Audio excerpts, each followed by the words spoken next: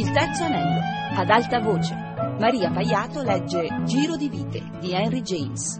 Introduzione di Donatella Izzo. Quando uscì Giro di vite, nel 1898, Henry James aveva 55 anni. Alle spalle alcuni grandi successi, come Daisy Miller, Ritratto di signora, ma anche alcuni grandi insuccessi.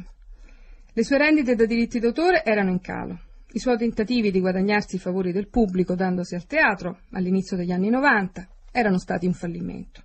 Fu proprio nel gennaio del 1895, pochi giorni dopo la disastrosa prima del suo dramma Guy Danville, che in una di quelle circostanze sociali dalle quali spesso traeva spunto per la sua scrittura, mentre prendeva un tè, James apprese dall'arcivescovo di Canterbury l'aneddoto dal quale avrebbe avuto origine Giro di Vite.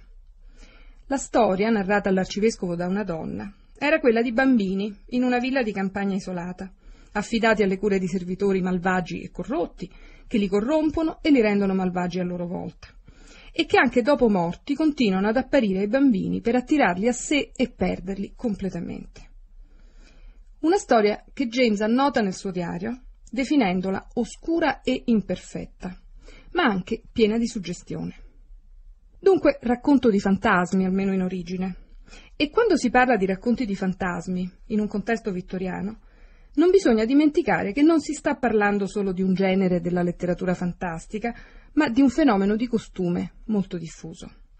Dal 1870 a fine secolo, negli Stati Uniti e in Inghilterra, dilagano le apparizioni di fantasmi e il cosiddetto Modern Spiritualism, lo spiritualismo moderno, un movimento che affermava la possibilità sistematica di comunicare con i morti e che dunque si offriva non solo come consolazione per la perdita dei propri cari, ma anche positivisticamente come contributo alla dimostrazione empirica dell'esistenza di una vita dopo la morte. Queste apparizioni furono anche analizzate in base a criteri scientifici dalla Society for Psychical Research, un'associazione scientifica dedita allo studio della mente umana, la stessa dalla quale avrebbe poi avuto origine la psicologia. Di questa società, proprio nel biennio 1894-95, era presidente William James, il filosofo e il fratello di Henry. E proprio da questa società giunsero a Henry James, dopo la pubblicazione del Giro di Vite, congratulazioni ma anche richieste di chiarimento in merito agli elementi psichici rappresentati nella storia. Richieste che provocarono da parte dello scrittore l'assicurazione di non avere mai inteso fare nel racconto niente di serio, anzi di averlo concepito come un'opera spudoratamente commerciale.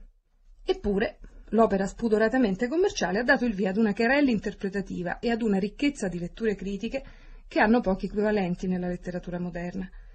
Interpretazioni e letture, ben inteso, perfettamente giustificate dal carattere suggestivo, sfuggente, complesso di questo racconto, Chiaramente James, come del resto spesso faceva scrivendo delle sue opere, non stava dicendo tutta la verità. Forse va più vicino al vero quando nella prefazione al racconto, scritta alcuni anni dopo, dice che il giro di vite è un amusette, cioè un trastullo, un passatempo, fatto per far cadere in trappola, così dice, quelli che non ci cascano facilmente. Dunque una trappola narrativa, un testo astuto, perfettamente calibrato e di notevole impegno letterario. Ma un testo finalizzato a che cosa? Per ora non si può dire, per non guastare il piacere dell'ascolto. È un testo che per produrre il suo effetto ha assoluto bisogno di un primo livello di lettura, per così dire, innocente, un po' come un poliziesco, genere al quale per certi versi somiglia. Ma per offrire comunque qualche altra chiave di lettura, torno ancora al contesto degli anni della composizione.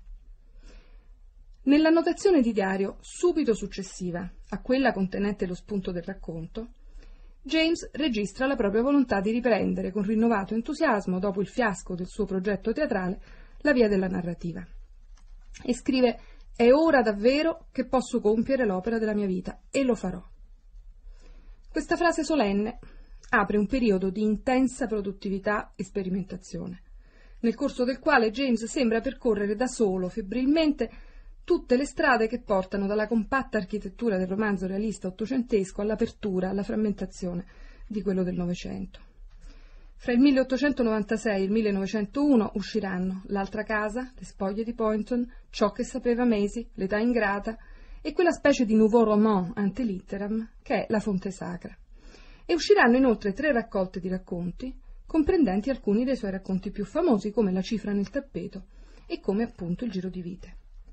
Anni quindi in cui James fa esperimenti con le forme del romanzo, il che dovrebbe allertarci all'uso quanto mai consapevole e per certi versi estremo che nel giro di vite fa di alcuni dispositivi cruciali dell'arte del narrare, quali il punto di vista e la voce narrante. Esperimenti quindi con le forme del romanzo, ma non soltanto. James del romanzo amplia anche il raggio d'azione. Si spinge verso temi fin lì considerati scabrosi. Primo fra tutti la sessualità, da sempre evitata nel romanzo vittoriano e che invece ricorre onnipresente nelle opere di James di questi anni, che mettono a fuoco un assortimento di desideri variamente trasgressivi, inclusi quelli che hanno a che fare con la sessualità infantile, con le relazioni intergenerazionali ed extraconiugali e con l'omosessualità. Tabù, quest'ultimo, particolarmente scottante per James, che proprio in quegli anni era impegnato in intense relazioni con uomini più giovani di lui, ma reso anche scottante dai fatti di cronaca. Non bisogna scordare che il 1895 è anche l'anno del processo Oscar Wilde, accusato di sodomia per le sue relazioni col giovane Lord Alfred Douglas. E anche questo contesto immediato va tenuto presente quando si legge Giro di vite, perché aiuta a spiegare in parte la suggestività non soltanto fantastica che emana dalla reticenza di questo racconto. Ecco, di più non è il caso di dire. Vi lascio ora alla lettura di Maria Paiato.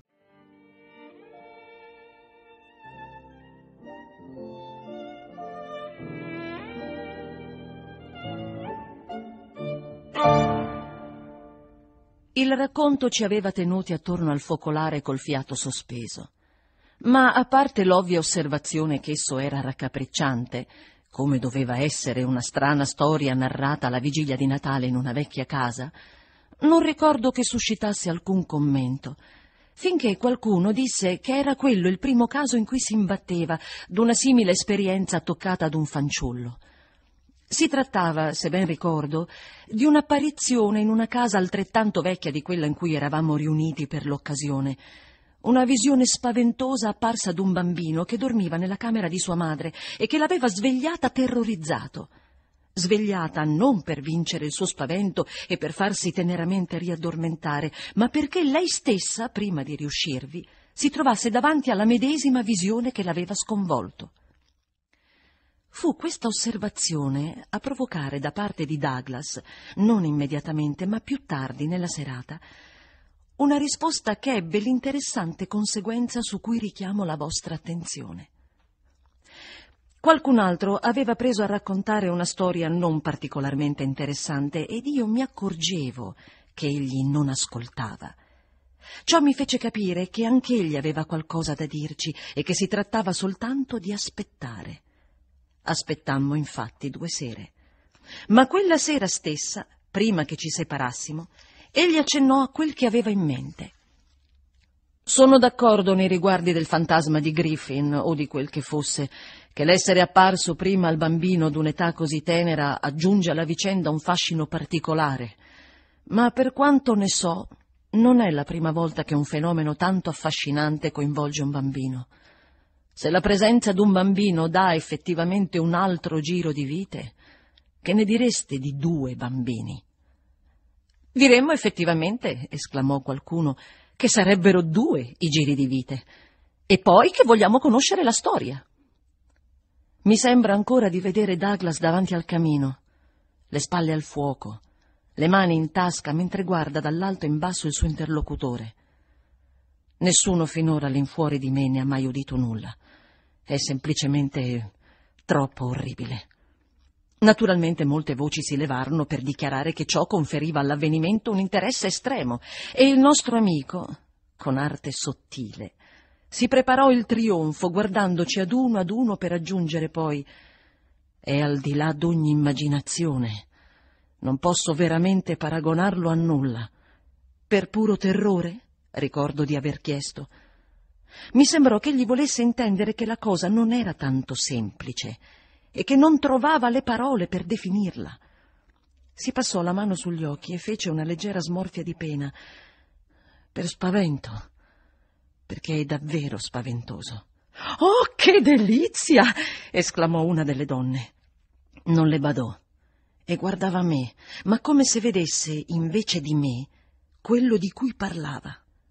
La storia è scritta. Si trova in un cassetto chiuso a chiave e non è venuta fuori da anni. Potrei scrivere al mio domestico, mandargli la chiave e lui potrebbe inviarmi il plico, così come si trova. Lo scongiurai di spedire la lettera con la prima posta e di mettersi d'accordo con noi per una sollecita lettura. Infine gli chiesi se l'esperienza di cui parlava fosse stata sua. La risposta allora fu pronta. Grazie a Dio no. E il resoconto è tuo? Hai registrato tu la cosa? Soltanto l'impressione. È incisa qui. Si toccò il cuore. Non l'ho mai perduta.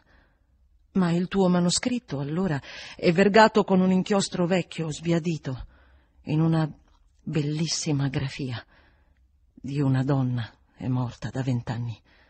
Mi mandò quelle sue pagine prima di morire.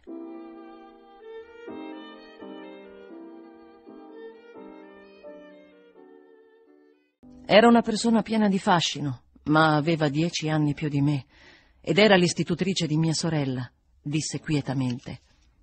Era la più piacevole donna che avevo mai conosciuto in una simile posizione e avrebbe potuto farsi onore in qualsiasi altro lavoro. È stato molto tempo fa e l'episodio era ancora precedente. Io frequentavo il Trinity College e la trovai a casa quando vi tornai per le vacanze della seconda estate. Vi rimasi molto quell'anno. Era un anno bellissimo. Nelle sue ore libere talvolta si passeggiava insieme e conversavamo in giardino e in quelle occasioni Fui colpito dal suo acume, dalla sua simpatia. Ma sì, non sorridete. Mi piaceva moltissimo. E oggi ancora mi sento felice all'idea che anch'io le piacevo. Se non fosse stato così, non mi avrebbe raccontato quella storia. Non l'aveva raccontata mai a nessuno e le credevo non soltanto perché me lo diceva, ma perché sentivo che era vero. Ne ero certo, lo vedevo. Potrete capire facilmente il motivo quando mi avrete ascoltato. Perché la vicenda era stata tanto spaventosa? Continuò a guardarmi fisso. Tu lo comprenderai facilmente, ripeté. Tu lo comprenderai. Anch'io lo fissai.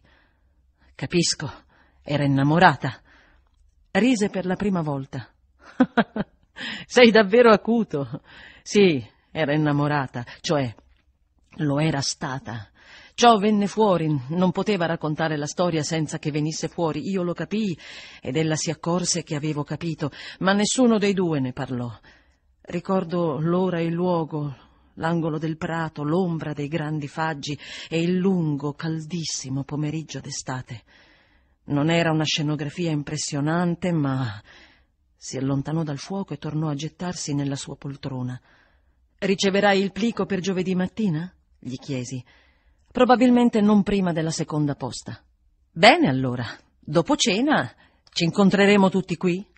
Ci guardò di nuovo uno per uno. Nessuno parte. E lo disse quasi con un tono di speranza. Tutti rimarranno. Ci saremo, tutti ci saremo, gridarono le signore che pure avevano già fissato la partenza. La signora Griffin, non di meno, manifestò la necessità di un ulteriore chiarimento. Di chi era innamorata? Il racconto lo dirà, mi presi la briga di rispondere. Oh, ma io non posso aspettare il racconto. Il racconto non lo dirà, fece Douglas. Perlomeno non volgarmente, a chiare lettere. Peccato, allora. È il solo modo che me lo farebbe capire. Non ce lo vuoi dire tu, Douglas? domandò qualcun altro. Balzò di nuovo in piedi. Sì, domani. Adesso devo andare a letto. Buonanotte. E rapidamente, agguantando un candeliere, ci lasciò, piuttosto sconcertati. Sentimmo i suoi passi sulle scale dal fondo del grande salone buio dove eravamo. E fu allora che la signora Griffin prese a parlare. Bene, se non so di chi era innamorata lei, so di chi era innamorato lui. Lei aveva dieci anni di più, disse suo marito. Raison de plus, a quell'età. Piuttosto delicata, però, questa sua lunga reticenza. Quarant'anni, precisò Griffin. E adesso questa esplosione. L'esplosione, dissi io farà di giovedì sera un'occasione memorabile. E si trovarono tutti tanto d'accordo con me che a quella luce ogni altra cosa non aveva più alcun interesse.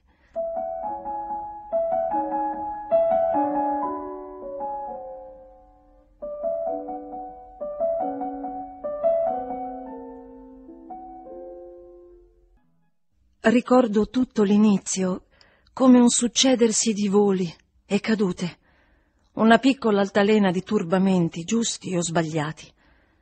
Dopo lo slancio che in città mi aveva spinta ad accettare l'invito, passai un paio di giorni veramente pessimi da ogni punto di vista, nuovamente piena di dubbi e sicura d'aver commesso un errore. In questo stato d'animo trascorsi le lunghe ore del viaggio, in una diligenza traballante e sobbalzante che mi portava alla fermata di posta, dove avrei trovato una vettura della casa. Questa comodità, mi fu detto, era stata predisposta e infatti trovai sul finire d'un pomeriggio di giugno una spaziosa carrozza che mi aspettava. Viaggiando a quell'ora in una splendida giornata attraverso una campagna in cui la dolcezza dell'estate sembrava offrirmi un amichevole benvenuto, ripresi coraggio e mentre svoltavamo nel viale avvertii un senso di sollievo che probabilmente altro non era se non la prova di quanto era stato il mio abbattimento. Forse avevo aspettato o temuto qualcosa di tanto melanconico che quello che mi accolse fu invece una piacevole sorpresa. Ricordo la gradevole impressione che risvegliò in me la grande luminosa facciata, con le finestre aperte, le tende nuove e un paio di domestiche che guardavano giù. Ricordo il prato e gli splendenti fiori dai colori accesi e lo stridere delle ruote sulla ghiaia le cime degli alberi che s'aggrovigliavano e al di sopra i larghi cerchi delle cornacchie in volo e il loro gracchiare nel cielo dorato. Lo scenario era d'una tale grandiosità da umiliare al confronto la mia tanto modesta dimora. Ed ecco che subito apparve sulla soglia del portone, tenendo per mano una bambina, una persona piena di dignità, che mi fece una rispettosa riverenza, come se io fossi la padrona, o un ospite di gran riguardo. L'idea che del luogo mi era stata data a Harley Street era assai più modesta, quindi nel ricordarmene mi convinsi che il proprietario era davvero un gentiluomo di razza e immaginai che le soddisfazioni che mi aspettavano sarebbero state assai meglio di quanto mi era stato promesso. Non ebbi alcuna delusione fino al giorno seguente perché trascorsi ore di vera esaltazione facendo conoscenza con la più piccola dei miei allievi. La bambina che accompagnava la signora Grose mi apparve di colpo una creatura tanto incantevole da farmi ritenere una gran fortuna l'avere a che fare con lei. Era la più bella bambina che avessi mai vista e dovetti subito stupirmi che lo zio gentiluomo non me ne avesse detto qualcosa di più. Dormii assai poco quella notte, ero troppo eccitata. E anche di questa eccitazione, ricordo, ero stupita, aggiungendosi all'impressione che aveva prodotto in me la grande gentilezza con cui ero stata trattata. La vasta camera solenne, una delle migliori della casa, il letto vasto e solenne, le sontuose cortine ricamate, i lunghi specchi in cui per la prima volta nella mia vita potevo vedermi dalla testa ai piedi, tutto mi colpiva, oltre il fascino straordinario della mia piccola allieva, come troppe cose belle, tutte in una volta. Mi divenne perfino chiaro, sin dal primo momento, che con la signora Gross avrei potuto stabilire quei rapporti d'amicizia sui quali, mentre viaggiavo nella diligenza, forse avevo sin troppo fantasticato. La sola cosa che in quel primo contatto avrebbe potuto risvegliare una certa inquietudine era il suo evidente sollievo nel vedermi. Mi ero accorta che per quasi mezz'ora la sua felicità nell'incontrarmi, brava donna, semplice, autentica, linda, piena di salute, era decisamente controllata perché non trasparisse troppo vistosamente.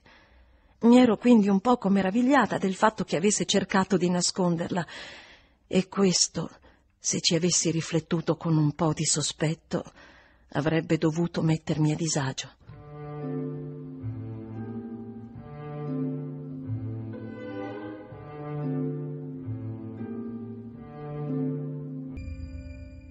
Agitata come mi sentivo, la notte mi alzai più volte e mi misi a passeggiare per la stanza perché mi diventassero familiari i contorni di ogni cosa.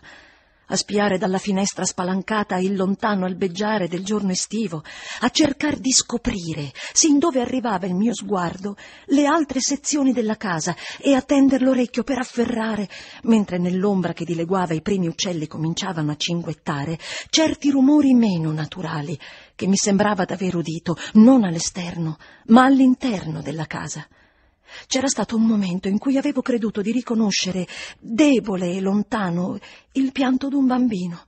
E in un altro momento avevo sussultato, credendo di sentire davanti alla mia porta un passo felpato.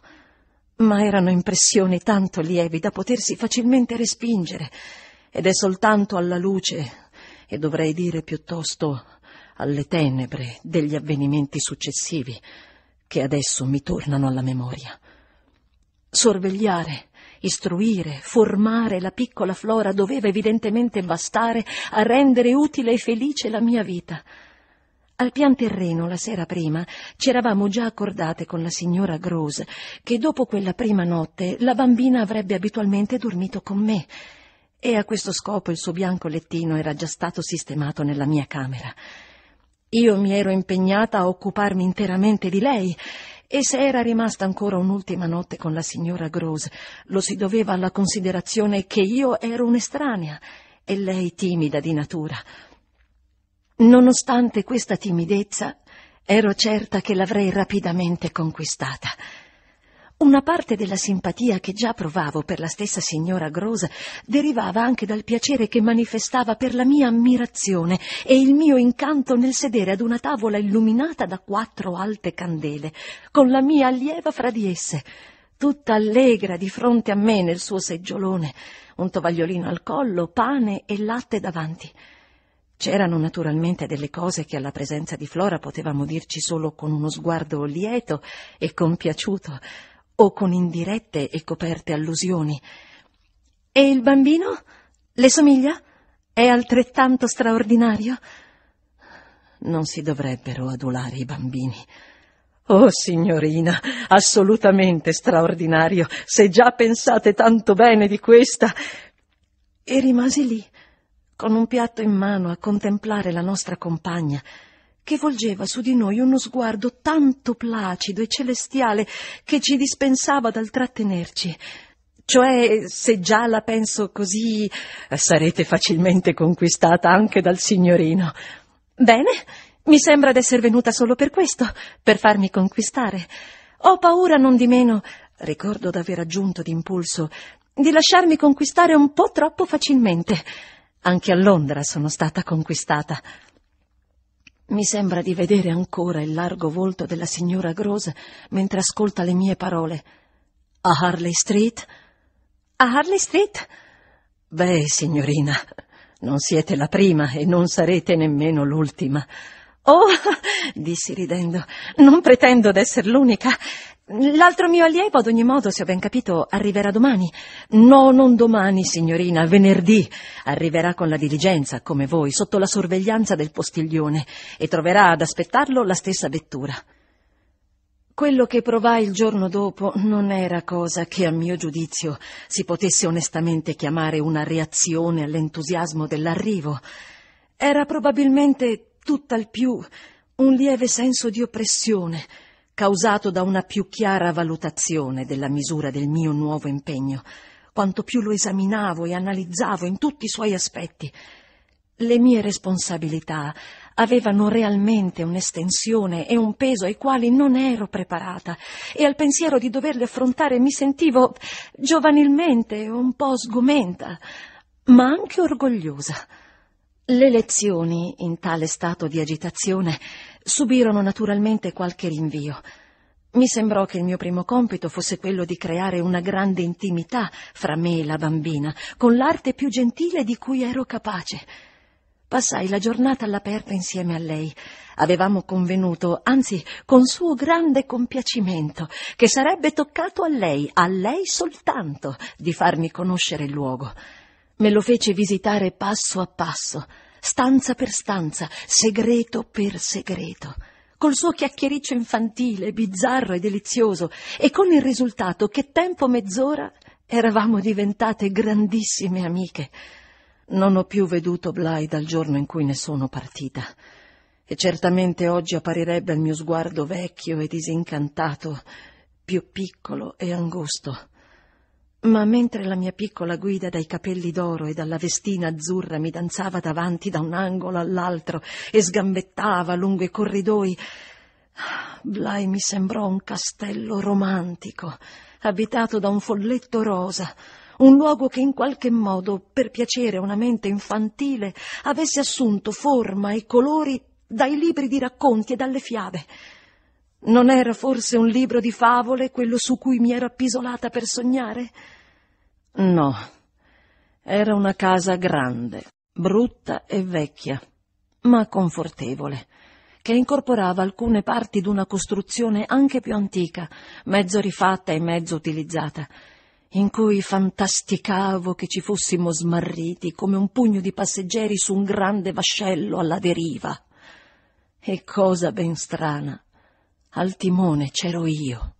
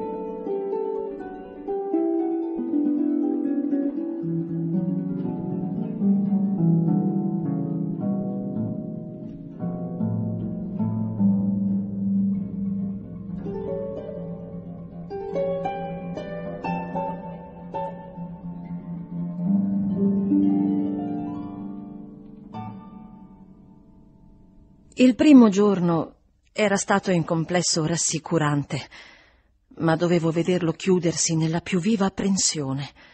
Nella posta di quella sera, che giunse tardi, c'era una lettera per me, di pugno del padrone, che tuttavia risultò di poche parole, e a sua volta ne conteneva un'altra indirizzata a lui stesso, col sigillo ancora intatto. Questa lettera, la riconosco, proviene dal direttore del collegio, un seccatore insopportabile. Leggetela per favore, trattate con lui, ma non me ne parlate, nemmeno una parola. Parto. Ruppi il sigillo, con grande sforzo, tanto grande che mi ci volle un bel po' di tempo per venirne a capo. Poi portai la lettera ancora chiusa in camera mia e cominciai a leggerla soltanto poco prima di andare a letto. Avrei fatto meglio ad aspettare sino al mattino perché mi procurò un'altra notte insonne. Non avendo a chi chieder consiglio il giorno dopo ero piena d'angustie e lo divenne a tal punto che alla fine decisi di confidarmi almeno con la signora Gross. Che cosa significa? Il bambino è stato mandato via dal collegio. Mi lanciò uno sguardo che dapprima mi impressionò, poi assunse di colpo un'aria assente, come se volesse riprendersi. Ma non li rimandano tutti? A casa, sì, ma soltanto per le vacanze. Miles invece non potrà più tornare in collegio. Non potendo eludere il mio sguardo attento, arrossì. Non vogliono più tenerlo? Lo rifiutano, nel modo più assoluto. A queste parole alzò gli occhi che aveva distolto da me e li vidi pieni di lagrime pietose. Che cosa ha fatto? Esitai. Poi mi sembrò più semplice tenderle la lettera. Il gesto non di meno servì soltanto a farle porre le mani dietro la schiena, senza toccarla. Scosse tristemente il capo mentre diceva Queste cose non fanno per me, signorina. La mia consigliera non sapeva leggere. Trasalii per questo sbaglio e cercando di sfumarlo per quanto mi era possibile, apersi la lettera per leggergliela. Poi, esitando, la piegai di nuovo e la rimisi in tasca. È davvero cattivo. Aveva ancora le lagrime agli occhi. Dicono così quei signori. Non entrano nei particolari, esprimono soltanto il loro dispiacere per l'impossibilità di tenerlo ancora. E questo può significare soltanto una cosa. La signora Gross mi ascoltava con muta emozione, ma non mi domandò quale poteva essere la cosa.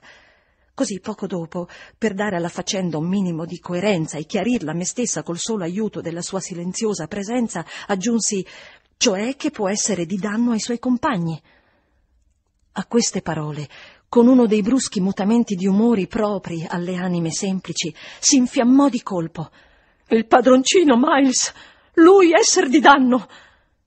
C'era una tale ondata di buona fede nelle sue parole che per quanto non avessi ancora visto il bambino, fui spinta dai miei stessi timori ad aggrapparmi all'assurdità di quell'idea. E non trovai di meglio, per venire in aiuto alla mia amica, del commentare sarcasticamente lì per lì a quei poveri innocentini.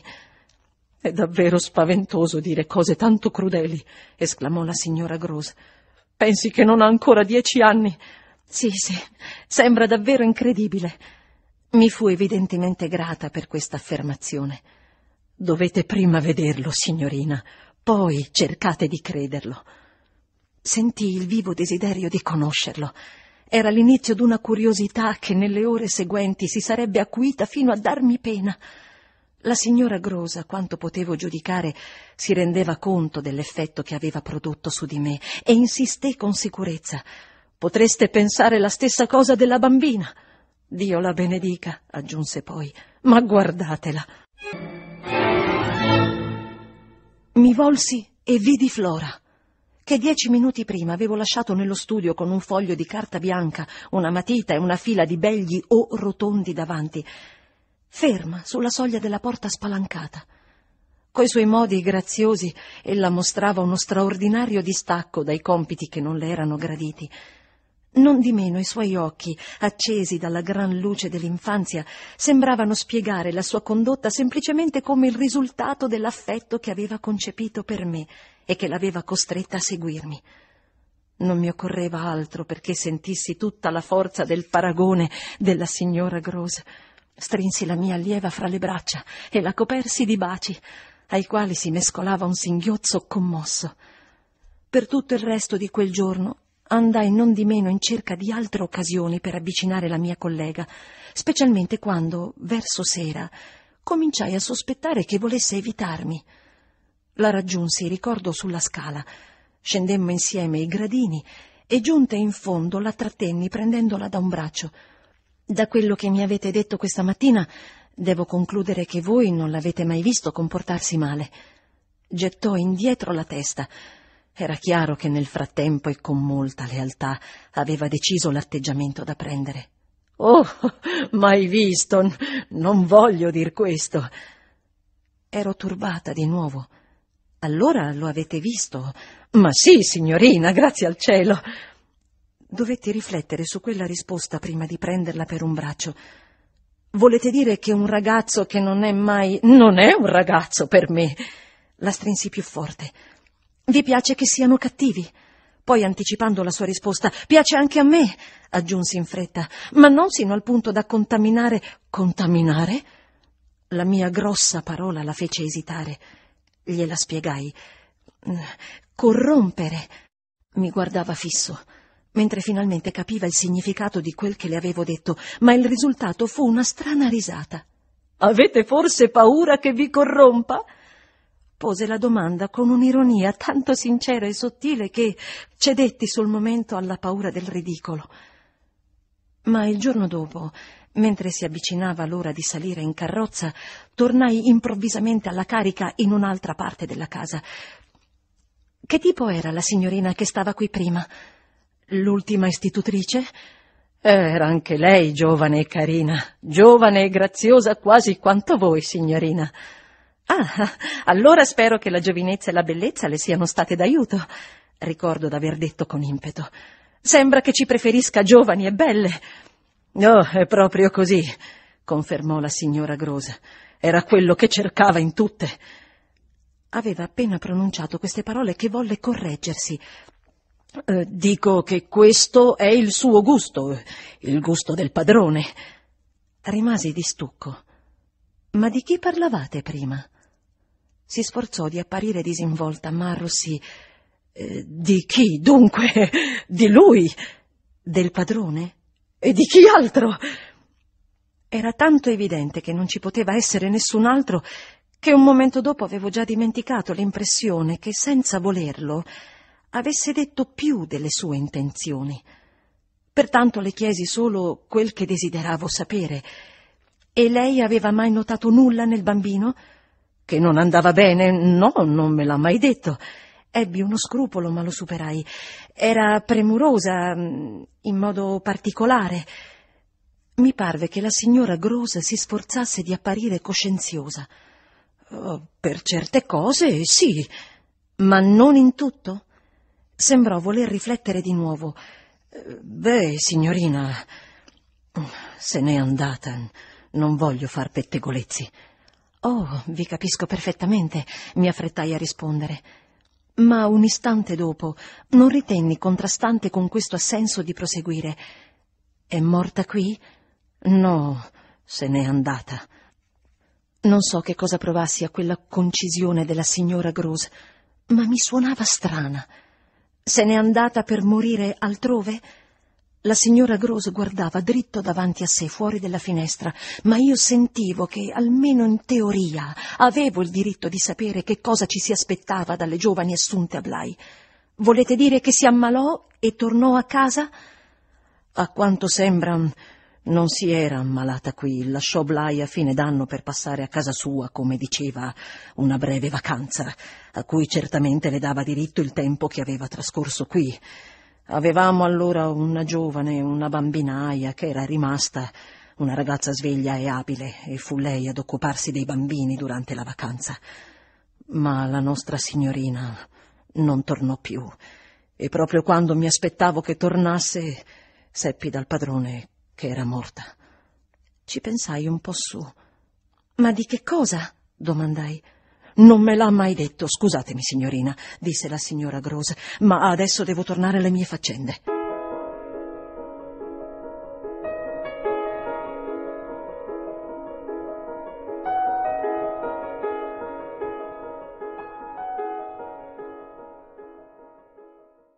Dopo che ebbi accompagnato a casa il piccolo Miles, ero pronta a gridare che trovavo mostruoso che un bambino come quello che avevo appena conosciuto fosse messo al bando. Arrivai con un lieve ritardo e nel vederlo sulla porta della locanda, dove lo aveva lasciato la diligenza, gli occhi che mi cercavano ansiosamente, mi sembrò all'istante che fosse circondato e permeato della stessa luminosa freschezza, della stessa fragrante purezza che fin dal primo momento avevo notato nella sua sorellina. Era incredibilmente bello e la signora Gross non aveva esagerato. Davanti a lui ogni cosa veniva cancellata da uno slancio di appassionata tenerezza. Ciò che fin dal primo momento mi rapì il cuore fu qualcosa di celeste, qualcosa che non avevo mai trovato allo stesso grado in altri bambini. La sua tranquilla, indescrivibile aria di non conoscere altro al mondo che l'amore. Quello a cui ripenso con stupore è lo stato di cose che avevo accettato. Mi ero impegnata di andare sino in fondo, ma a quanto ricordo ero preda di un incantesimo capace di nascondere l'ampiezza e le implicazioni di un simile impegno. Mi sentivo sollevata da un'enorme ondata di entusiasmo e di pietà. Trovavo semplice nella mia ignoranza, nella mia confusione e forse nella mia presunzione il ritenere di poter trattare con un ragazzo che nella sua educazione alle cose del mondo era soltanto agli inizi. Tutti concordavamo che egli dovesse prendere lezioni da me durante quell'incantevole estate, ma ora mi rendo conto che fui io piuttosto a ricevere lezioni. Imparai qualcosa che non avevo appreso nella mia vita modesta e limitata. Imparai a divertirmi e perfino a saper divertire e a non pensare all'indomani. Era la prima volta, in un certo senso, che mi accorgevo dello spazio e dell'aria e della libertà, di tutta la musica dell'estate e dei misteri della natura. E poi c'era la considerazione di cui godevo, una così dolce considerazione. Oh, era una trappola non premeditata, ma profonda, per la mia immaginazione, per la mia sensibilità, forse per la mia vanità, per qualsiasi cosa che in me fosse vulnerabile. Insomma, per dire come stavano le cose, non stavo più in guardia. Loro mi davano così poco pensiero, erano di una gentilezza d'animo veramente straordinaria. Ero solita chiedermi, ma anche questo in modo incoerente, come li avrebbe trattati l'aspro futuro. Ogni futuro è aspro, e se li avrebbe feriti. Erano nel fiore della salute e della gioia, eppure la sola forma che per gli anni a venire vedessi possibile per loro nelle mie fantasticherie era un prolungamento romantico, davvero regale, del giardino e del parco. Può darsi naturalmente e soprattutto che ciò che intervenne in seguito e all'improvviso conferisca a quel primo periodo il fascino della calma, quella penombra quieta in cui qualcosa si acquatta o prende vigore Difatti il mutamento fu simile al balzo d'una belva. Nelle prime settimane i giorni erano lunghi. Spesso al colmo della loro bellezza mi regalavano ciò che io chiamavo la mia ora, l'ora in cui, essendo venuto e trascorso per i miei allievi il tempo di prendere il tè e di andare a letto, mi restava, prima di ritirarmi definitivamente, un breve intervallo di solitudine. Per quanto mi piacessero i miei compagni, questa era l'ora del giorno che amavo di più. Era un piacere per me in quei momenti sentirmi tranquilla e in pace con la mia coscienza e anche forse pensare che con la mia discrezione, con il mio calmo buonsenso e in generale con le mie alte qualità davo senza dubbio piacere, se mai vi avesse pensato, alla persona che mi aveva convinta con la sua insistenza. Ciò che stavo facendo era quanto egli aveva ardentemente sperato e mi aveva chiesto personalmente, e che io fossi in grado, dopo tutto, di farlo, mi dava una gioia anche più grande di quella che avrei potuto aspettarmi.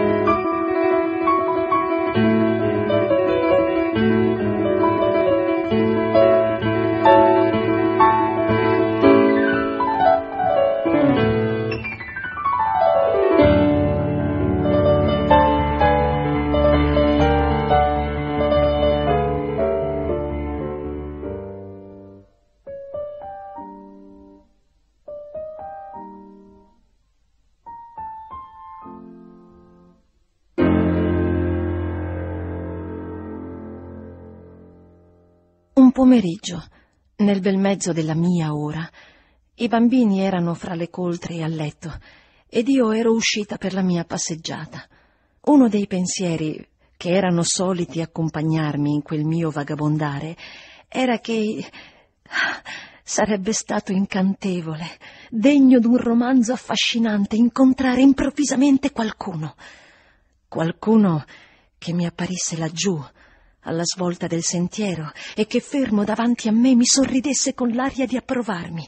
Non chiedevo niente di più, chiedevo soltanto che sapesse. E il solo modo per essere certa che sapeva sarebbe stato di leggerlo nel suo bel viso, rischiarato dalla luce di quella consapevolezza.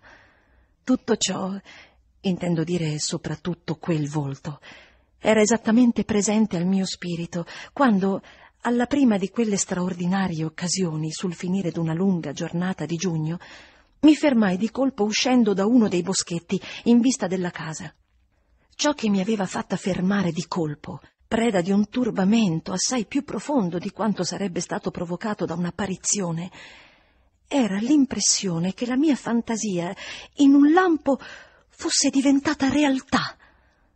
Egli era là, ma su in alto, oltre il prato, proprio sulla cima della torre, dove la prima mattina mi aveva condotto la piccola Flora. Nel limpido crepuscolo quell'immagine produsse in me, ricordo, due emozioni ben distinte, le quali non furono in definitiva che due sussulti separati di sorpresa. La seconda sorpresa fu la violenta percezione dell'errore della prima. L'uomo che vedevo non era infatti la persona che avevo precipitosamente supposto. Ne provai un tale turbamento che dopo tanti anni non posso sperare di darne una descrizione vivida. Si ammetterà che un uomo sconosciuto in un posto solitario sia causa di paura per una ragazza cresciuta in famiglia. E la figura che mi stava di fronte bastarono pochi secondi perché ne fossi certa. Non assomigliava minimamente né a qualcuno che conoscessi né all'immagine che mi era familiare. Non l'avevo veduto a Harley Street, non l'avevo veduto in nessun luogo. Per giunta il posto era diventato all'istante, per il solo fatto di quell'apparizione, perfettamente desolato. Si rinnova interamente, almeno in me, mentre stendo qui la mia testimonianza con una lucidità che non avevo mai avuto prima, la sensazione di quel momento. Era come se, nell'istante in cui mi rendevo conto di quel che vedevo, tutta la scena fosse stata toccata dalla morte. Mi sembra di udire ancora mentre scrivo il silenzio totale in cui si spensero tutti i rumori della notte. Le cornacchie smisero di gracchiare nel cielo dorato e l'ora amica smarrì per il momento tutta la sua voce. Ma nient'altro era mutato nella natura, a meno che non fosse per un mutamento che io vedevo con eccezionale chiarezza. L'oro stava ancora sospeso nel cielo, l'aria era limpida e l'uomo che mi osservava da sopra i merli sembrava un ritratto nella sua cornice. Fu per questo che pensai con una straordinaria rapidità a tutte le persone che avrebbe potuto essere e non era. Ci eravamo guardati da lontano abbastanza a lungo perché avessi modo di chiedermi con ansia chi mai fosse e di provare come conseguenza della mia incapacità di trovare la risposta uno stupore che si faceva sempre più intenso. Eravamo troppo distanti per poterci rivolgere la parola, ma ci fu un momento in cui, se fossimo stati più vicini, una parola di sfida tra di noi, rompendo il silenzio, sarebbe stato il giusto risultato di quel nostro reciproco e sfrontato fissarci. Egli stava in un angolo, il più lontano della casa, dritto come un fuso, e con le due mani sul parapetto. Sicché lo vidi, come vedo le lettere che vado tracciando su questa pagina.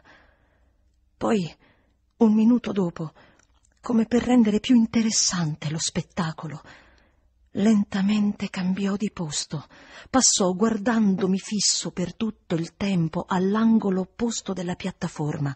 Sì, ebbi la netta sensazione che durante quello spostamento non mi togliesse mai gli occhi di dosso. E in questo momento vedo ancora la sua mano passare da un merlo all'altro, mentre lui si muove. Giunto all'angolo opposto si fermò, ma meno a lungo, e anche nel ritirarsi continuò a fissarmi intensamente. Si volse e per me fu tutto.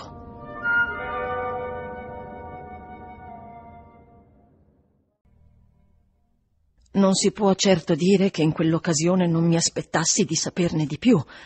Tanto a fondo ero stata impietrita e altrettanto scossa. C'era un segreto a Blai forse un pazzo, un parente innominabile tenuto laggiù in un isolamento insospettato. Non saprei dire per quanto tempo vi rimuginai sopra o per quanto tempo, sospesa tra curiosità e paura, rimasi sul luogo dove avevo avuto quel traumatico incontro. Ricordo soltanto che quando rientrai in casa la notte era scesa. Nel frattempo l'agitazione si era certamente impadronita di me al punto che, aggirandomi sempre nel medesimo posto, dovevo aver percorso circa tre miglia. Ma mi sarebbe toccato in seguito un tale cumulo di angosce che quel primo segno di allarme era un brivido ancora relativamente umano. L'aspetto più singolare della vicenda, singolare quanto tutto il resto, mi apparve chiaro allorché incontrai nell'atrio la signora Grose. La scena mi ricompare davanti nelle sue linee generali. Riprovo l'impressione che mi fecero rientrando l'ampio spazio a pannelli bianchi vivamente illuminato dalle lampade, con i suoi ritratti e il tappeto rosso e il dolce sguardo meravigliato della mia amica, che immediatamente mi disse di aver sentito la mia mancanza. Compresi subito, in questo contatto con lei, che con quella sua tranquilla cordialità, con quella semplice ansia dissipata dalla mia comparsa, la signora Grose non sapeva nulla che avesse a che fare con l'incidente che ero pronta a raccontarle. Non avevo immaginato che il suo viso amico mi avrebbe tanto rianimata e in certo qual modo misurai la gravità di quanto avevo veduto dall'esitazione che provai a parlarne. Quasi nient'altro in tutta questa storia mi appare tanto strano quanto il fatto che alla paura che cominciava a invadermi si mescolasse per così dire l'istinto di risparmiare la mia compagna. Di conseguenza, per ragioni che sinora non avrei potuto spiegare, si compì in me, in quell'atrio accogliente, sotto il suo sguardo, un rapido rivolgimento interiore Giustificai con una vaga scusa il mio ritardo e, prendendo a pretesto la bellezza della notte, la rugiada abbondante e i piedi bagnati, mi ritirai il più presto possibile in camera mia. Lì fu un'altra cosa. Lì per molti giorni di seguito fu davvero una strana faccenda. Di giorno in giorno vi furono ore, o almeno momenti, strappati anche ai doveri più elementari, in cui dovetti chiudermi in camera a pensare. Qualunque cosa fosse ciò che io sapevo, intorno a me nessuno ne sapeva nulla. C'era dunque una sola conclusione sensata. Qualcuno si era preso una libertà molto greve. Era questo che mi ripetevo quando correvo a chiudermi in camera mia. Tutti noi, collettivamente, eravamo stati vittime di un'intrusione. Qualche viaggiatore privo di scrupoli, curioso di vecchie dimore, era penetrato in casa senza essere visto, s'era goduto il panorama dal posto più indicato e poi era uscito furtivamente così come era entrato. Se mi aveva squadrato con tanta sfrontatezza, ciò faceva parte semplicemente della sua maleducazione. Dopotutto, il lato buono della cosa era che certamente non l'avremmo più rivisto. Il mio delizioso compito rendeva davvero tutto il resto molto poco significativo. Il mio compito delizioso era nient'altro che la mia vita con Miles e Flora, e nulla me l'avrebbe potuto rendere più piacevole quanto il sentimento di potermici dedicare anima e corpo nonostante il mio turbamento. L'attrattiva dei miei piccoli incarichi era una gioia continua, che mi portava a meravigliarmi continuamente dei miei vani timori originari, del disgusto che avevo provato all'inizio per il probabile prosaico grigiore del mio incarico.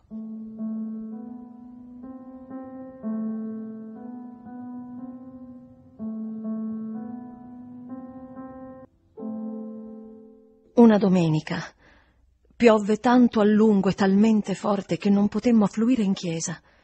Di conseguenza, durante la giornata, mi accordai con la signora Grose che se verso sera il tempo fosse migliorato, saremmo andate insieme alla funzione vespertina. Fortunatamente la pioggia cessò ed io mi preparai per la passeggiata fino al villaggio che, attraverso il parco e lungo la strada maestra, richiedeva una ventina di minuti. Scendendo le scale per incontrarmi con la mia collega nell'atrio, mi ricordai d'un paio di guanti che avevano richiesto qualche punto e l'avevano avuto, mentre i bambini prendevano il tè alla domenica, eccezionalmente servito in quel gelido e pulito tempio di mogano e di ottone che era la sala da pranzo dei grandi. I guanti li avevo lasciati là e andai a riprenderli. La giornata era piuttosto grigia, ma la luce del pomeriggio ancora indugiava e mi permise, nel varcare la soglia, non soltanto di riconoscere su una sedia vicino alla grande finestra chiusa ciò che cercavo, ma anche di accorgermi di una persona che dalla parte esterna della finestra guardava nella stanza. M'era bastato fare un passo La visione fu istantanea e perfettamente chiara. La persona che guardava nella stanza era la stessa che mi era già apparsa. Mi riapparve non direi con maggior nitidezza, cosa che sarebbe stata impossibile, ma con una vicinanza che costituiva un passo avanti nei nostri rapporti e che al vederlo mi gelò il sangue. Si trattenne solo per pochi secondi, ma abbastanza per convincermi che anche lui mi aveva vista e riconosciuta, e fu come se lo avessi guardato per anni e lo conoscessi da sempre. Accadde però qualcosa che non era avvenuta la volta precedente. Il suo sguardo, che si fissava sul mio attraverso i vetri dall'altro lato della stanza, era duro e scrutatore come la prima volta, ma mi abbandonò per un attimo durante il quale lo seguì e lo vidi posarsi successivamente su diverse altre cose. Immediatamente un'altra certezza mi sconvolse. Non era venuto per me, era venuto per qualcun altro questa fulminea consapevolezza, perché proprio di consapevolezza si trattava, per quanto mescolata alla paura, produsse in me un effetto straordinario, suscitò, mentre me ne stavo lì, una vibrazione improvvisa di dovere e di coraggio. Dico coraggio perché, senza dubbio, ero già fuori di me. Lasciai di corsa la sala da pranzo, raggiunsi l'ingresso della casa, in un attimo fui nel viale e, voltato il più rapidamente possibile l'angolo della terrazza, gettai lo sguardo lungo la facciata. Ma non c'era nulla da vedere. Il mio visitatore era svanito. Mi fermai e quasi svenni per il sollievo, ma tenevo il luogo sotto controllo. Gli diedi il tempo di ricomparire. Avvertivo confusamente che dovevo mettermi nello stesso luogo nel quale si trovava, e così feci. Premetti il viso contro il vetro e guardai nella stanza come lui aveva fatto. Proprio Quasi per permettermi in quel momento di giudicare l'ampiezza del suo campo visivo, la signora Grosa entrò nell'atrio, come io avevo fatto poco prima. Ebbi così la perfetta ripetizione di ciò che era già accaduto. Mi vide come io avevo visto il mio visitatore. Si arrestò di colpo, come avevo fatto io. Le feci provare in parte la stessa scossa che io avevo ricevuto. Impallidì, facendomi chiedere a me stessa se anche io fossi impallidita tanto. In breve mi fissò e si ritrasse esattamente come avevo fatto io.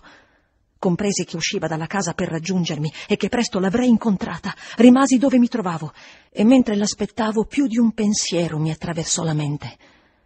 Ma ne voglio ricordare qui uno solo. Mi chiesi perché anche lei si fosse spaventata.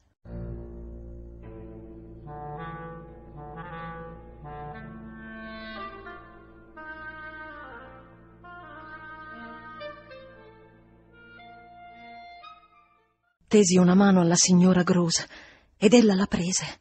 La strinsi con forza per un po', contenta di sentirmela vicino. I suoi occhi dicevano molto chiaramente che non desiderava essere spaventata a sua volta, ma dissero anche che conosceva troppo bene gli obblighi della sua posizione per non essere pronta a condividere con me qualunque serio inconveniente. Oh, era scritto che ne dovesse condividere molti. Quello che avete visto un momento fa dalla finestra della sala da pranzo. Ecco, quello che ho visto io un attimo prima era anche peggio. La sua mano si strinse. Che cos'era? Un uomo stranissimo. Guardava dentro. Un uomo stranissimo. Non ne ho la minima idea. Invano la signora Grosa si guardò intorno. Ma dov'è andato? Ne so ancora meno. Lo avevate già visto? Sì, una volta sulla torre vecchia. Non poté far altro che guardarmi più fisso. Volete dire che è uno sconosciuto. Oh, assolutamente. Riflettei un momento. Era un signore? Mi resi conto che non avevo bisogno di pensarci su. No! Mi guardava con crescente stupore. No! Allora non è nessuno del posto, nessuno del villaggio. Nessuno, nessuno. Non, non ve l'ho detto, ma me ne sono accertata. Emise un leggero sospiro di sollievo. Stranamente sembrava andar meglio ma fu solo questione di un attimo. Allora, se non è un signore, che cosa è? È un orrore, un orrore. È, è... Dio mi aiuti se lo so. Ancora una volta la signora Grosa si guardò attorno. Fissò lo sguardo nell'oscurità che stava avanzando, poi, riprendendosi, si rivolse a me con una brusca incoerenza. A quest'ora dovremmo essere in chiesa. Oh, non, non me la sento di andare in chiesa. Non potrebbe farvi bene, non ne farebbe a loro, esclamai accennando alla casa. Ai bambini? Non posso lasciarli proprio adesso. Avete paura? Parlai con estrema chiarezza. Ho paura di lui! Sul largo volto della signora Grosa apparve a questo punto, e per la prima volta, un remoto, debole lampo di consapevolezza e in qualche modo vi colsi il tardivo spuntare di un'idea che io non le avevo suggerito e mi era ancora completamente oscura. Ricordo di aver pensato subito che avrei potuto strapparle al riguardo qualche confidenza e sentivo che la cosa era legata al desiderio, da lei immediatamente dimostrato, di saperne di più. Quando è successo sulla torre? Verso la metà del mese, a questa stessa ora. Ma com'era potuto entrare? E com'era potuto uscire? Non ho avuto modo di chiederglielo. Stasera, lo vedete, non ce l'ha fatta entrare. Si limita a spiare. Spero che si limiterà a questo. Ora aveva lasciato la mia mano e aveva distolto un poco lo sguardo. Attesi un momento, poi proruppi. Andate in chiesa, arrivederci. Io devo vigilare. Lentamente si rivolse ancora a me. Avete paura per loro? Ci scambiammo un altro lungo sguardo. E voi no?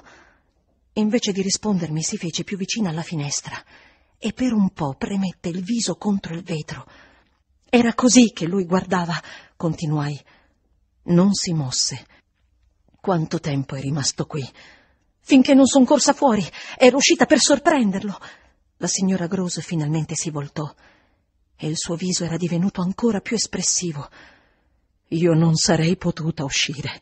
E nemmeno io. Eppure sono uscita. Ho dei doveri. Anche io i miei, replicò, e subito dopo aggiunse A chi somiglia? Non so che cosa darei per potervelo dire, ma non somiglia a nessuno.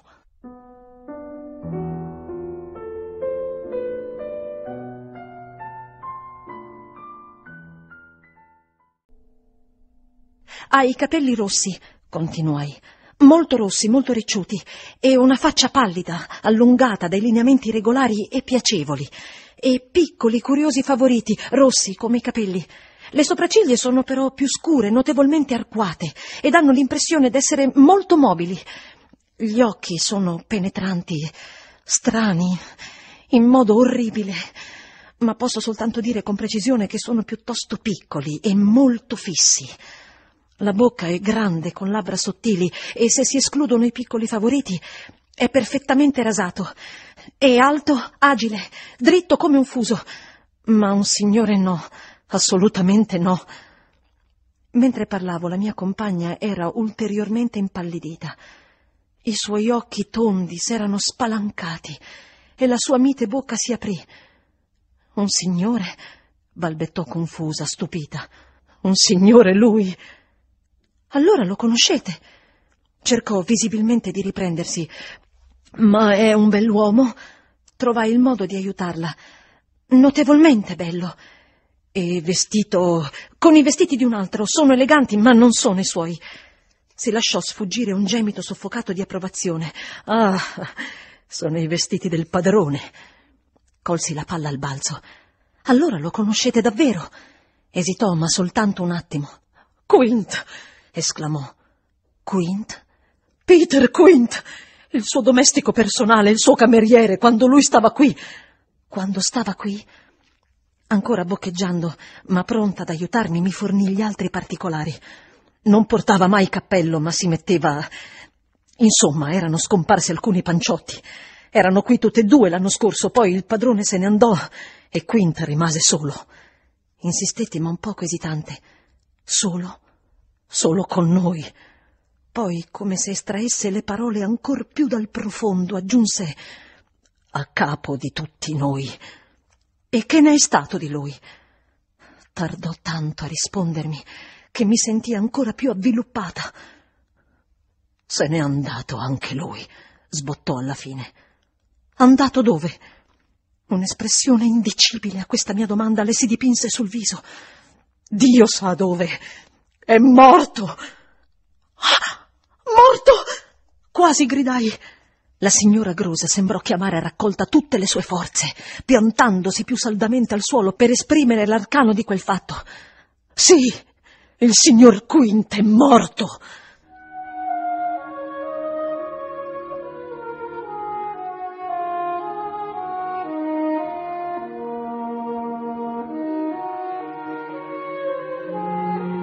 Nessuna di noi due quella sera, dopo la rivelazione che per più di un'ora mi aveva lasciato tanto prostrata, s'era recata in chiesa per la funzione.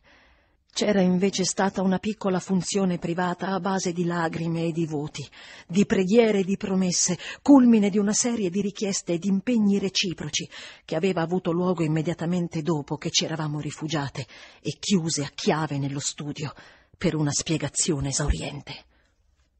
Quella sera arrivammo di comune accordo alla conclusione che tutte e due, insieme, avremmo potuto affrontare meglio gli avvenimenti. E non ero neppure sicura che non fosse lei, malgrado la mia prova le fosse stata risparmiata, a dover portare il fardello più pesante. Credo che già sapessi allora, come seppi più tardi, quello che ero in grado di affrontare per proteggere i miei allievi ma mi ci volle un po' più di tempo per essere pienamente sicura di ciò che la mia onesta alleata era pronta a sostenere per mantenere i termini di un impegno tanto rischioso.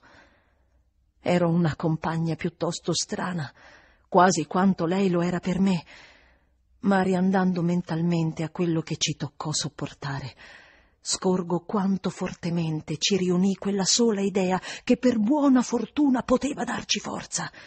E fu quell'idea quel secondo impulso che mi trasse definitivamente fuori, per così dire, dalla segreta della mia paura. Ricordo ora perfettamente in che modo curioso ritrovai tutte le mie energie prima che ci separassimo per la notte. Avevamo esaminato ripetutamente ogni particolare di ciò che avevo visto. Cercava qualcun altro, voi dite. Qualcuno che non eravate voi. Cercava il piccolo Miles. Ora vedevo tutto, con prodigiosa chiarezza. Ecco chi cercava. Ma come lo sapete? Lo so, lo so, lo so.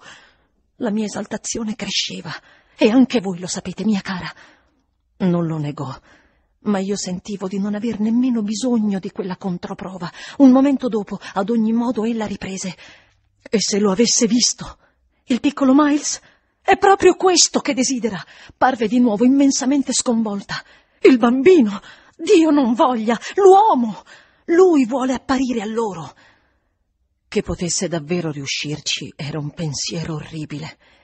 Eppure in certa misura potevo tenerlo a bada, cosa che del resto, mentre indugiavamo là, riuscivo a dimostrare praticamente. Ero assolutamente certa che avrei rivisto quel che già avevo visto. Ma qualcosa mi diceva che se mi fossi offerta bravamente come l'unico bersaglio di quella esperienza, se avessi accettato, invocato e infine superato tutto quanto, io sola sarei servita da capo espiatorio. E così facendo avrei salvaguardato la tranquillità dei miei compagni, i bambini in particolar modo li avrei posti al riparo e salvati in via assoluta. Ricordo una delle ultime cose che dissi alla signora Gross quella sera. Mi colpisce il fatto che i miei allievi non abbiano mai parlato. Mi teneva gli occhi addosso mentre io pensierosa mi interruppi. Della sua permanenza qui e del tempo che hanno passato con lui. Di quel tempo, del suo nome, della sua presenza, della sua storia in una parola. Oh, la signorina non se ne ricorda. Lei non ha mai sentito o conosciuto le circostanze della sua morte? Riflettevo intensamente. Forse no, ma Miles dovrebbe ricordare. Miles dovrebbe sapere. Oh, non mettetelo alla prova, proruppe la signora Gross. Le restituì lo sguardo che mi aveva lanciato. Non abbiate paura. Continuavo a riflettere. Però è piuttosto strano che non ne abbia mai parlato, nemmeno la minima allusione. E voi mi dite che erano grandi amici. Oh, lui no! dichiarò con vigore la signora Gross. Era un capriccio di Quint, di giocare con lui, voglio dire, per viziarlo. Tacque per un momento, poi aggiunse Quint si prendeva troppe libertà. Questo mi diede, per quel che ricordavo di quel viso, e che viso, un'improvvisa sensazione di disgusto. Troppe libertà col mio bambino. troppe con tutti.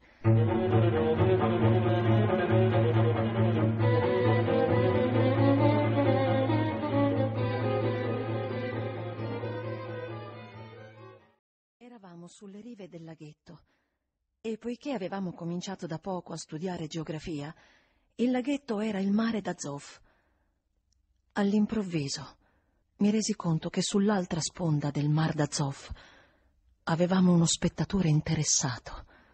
Ero seduta con un lavoretto tra le mani sul vecchio sedile di pietra che dominava lo stagno e in questa posizione cominciai ad avvertire con sicurezza, pur senza vederla direttamente, la lontana presenza d'una terza persona. I vecchi alberi, i fitti cespugli facevano un'ombra ampia e piacevole, ma tutto era soffuso dal fulgore di quell'ora calda e quieta. Non vi era nulla d'ambiguo tutt'intorno, assolutamente nulla, almeno nella convinzione che si andava affermando in me a proposito di ciò che avrei visto dritto davanti a me, al di là del laghetto, se solo avessi alzato gli occhi. Li tenevo fissi sul cucito che mi occupava e mi par di sentire ancora lo spasimo dello sforzo che feci per non alzarli, sinché non mi fossi calmata abbastanza per poter decidere sul da farsi. C'era là, in piena vista, un oggetto estraneo, una figura a cui negai subito appassionatamente il diritto di trovarsi dov'era. Ricordo d'aver fatto tutte le ipotesi possibili al riguardo, dicendo a me stessa che non vi sarebbe stato niente di più naturale, per esempio, dell'apparizione di uno degli uomini che lavoravano nella tenuta, o anche di un messaggero, di un portalettere, di un garzone di bottega venuto dal villaggio, ma questi pensieri ebbero scarso effetto sulla mia pratica certezza, in quanto ero già convinta, pur senza aver ancora alzato lo sguardo, che non c'entravano per nulla con la specie e il contegno del nostro visitatore. Non c'era niente di più naturale del fatto che cose del genere fossero ciò che assolutamente non erano. Della precisa identità dell'apparizione mi sarei resa conto non appena il piccolo orologio del mio coraggio avesse scoccato il momento esatto. Frattanto, con uno sforzo che già mi costò non poco, rivolsi lo sguardo alla piccola Flora, che in quel momento si trovava pochi metri più in là. Per un attimo per l'ansia e il terrore che anche lei potesse vedere qualcosa, il mio cuore cessò di battere e trattenni anche il respiro nell'attesa di ciò che un suo grido, un suo improvviso, innocente segno di curiosità o di allarme mi avrebbe rivelato. Aspettai, ma nulla avvenne. Poi e sento che c'è qualcosa di più spaventoso in questo, di tutto ciò che ho ancora da raccontare. Dapprima a decidermi fu la sensazione che da circa un minuto, giocando, aveva la schiena rivolta all'acqua. Questa era la sua posizione quando finalmente la guardai. La guardai con la precisa convinzione che eravamo ancora sottoposte, tutte e due, a un'osservazione diretta e personale. La bambina aveva raccolto un pezzetto di legno piatto, con un piccolo foro che evidentemente le aveva suggerito l'idea di infilarvi un altro legnetto a mo' di albero maestro per farne una barca. Mentre la fissavo era tutta intenta a cercare di infilare con grande cura quel secondo frammento di legno. L'aver visto quel che stava facendo mi rincuorò a tal punto che pochi istanti dopo sentii che ero pronta a tutto. Allora distolsi di nuovo lo sguardo e affrontai quel che dovevo affrontare.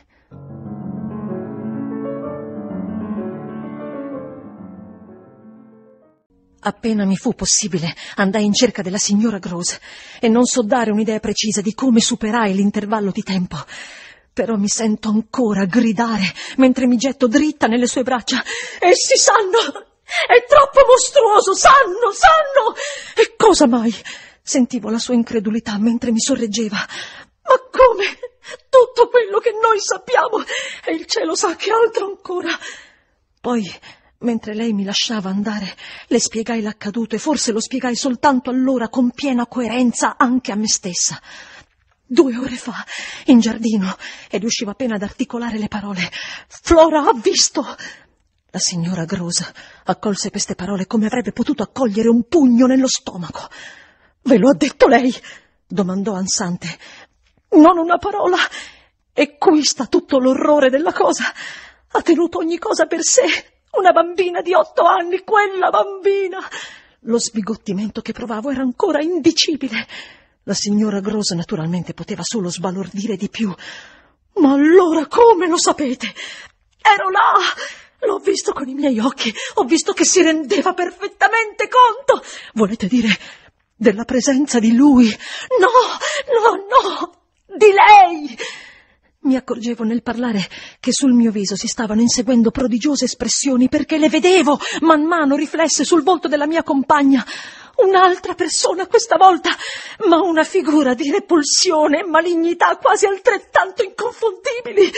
Una donna in nero, pallida e orrenda, con un'espressione poi e una faccia. Sull'altra sponda del laghetto ero là con la bimba, tranquilla in quel momento e proprio l'ora è venuta. Venuta come? Da dove? Da dove vengono loro? È semplicemente apparsa ed è rimasta lì, ma non troppo vicina. Era qualcuno che voi non avevate mai visto. Sì, sì, ma qualcuno che la bambina conosceva, qualcuno che voi avevate visto. Poi, per rivelarle a quale conclusione ero pervenuta, la donna che mi ha preceduta, quella che è morta, la signorina Jessel, la signorina Jessel, non mi credete? Incalzai, si voltò di qua e di là, agitatissima. Come potete esserne certa? La domanda nello stato di nervi in cui mi trovavo mi strappò un moto di impazienza. Allora chiedetelo a Flora! Lei ne è sicura. Ma non avevo ancora finito di parlare che subito mi ripresi. No, no, no, no, per l'amor di Dio, non lo fate. Direbbe che non è vero, mentirebbe. La signora Gross non era ancora sconvolta al punto di rinunciare ad un atto istintivo di protesta. Oh, come potete pensare? Perché vedo chiaro. Flora non vuole che io sappia. Allora è stato per risparmiarvi. No, no, no. Ci sono degli abissi, degli abissi. Più ci ripenso, e più vedo a fondo, e più vedo a fondo, e più ho paura. Non so più che cosa non vedo, che cosa non mi fa paura. La signora Grosa si sforzò di seguirmi. Volete dire che avete paura di vederla di nuovo? Oh no, no, non è niente a questo punto. Poi mi spiegai. Ho paura di non rivederla ma la mia compagna restava soltanto smarrita. Non vi capisco. Ecco, ho paura che la bambina vada avanti con questa storia e lo farà certamente, senza che io lo sappia.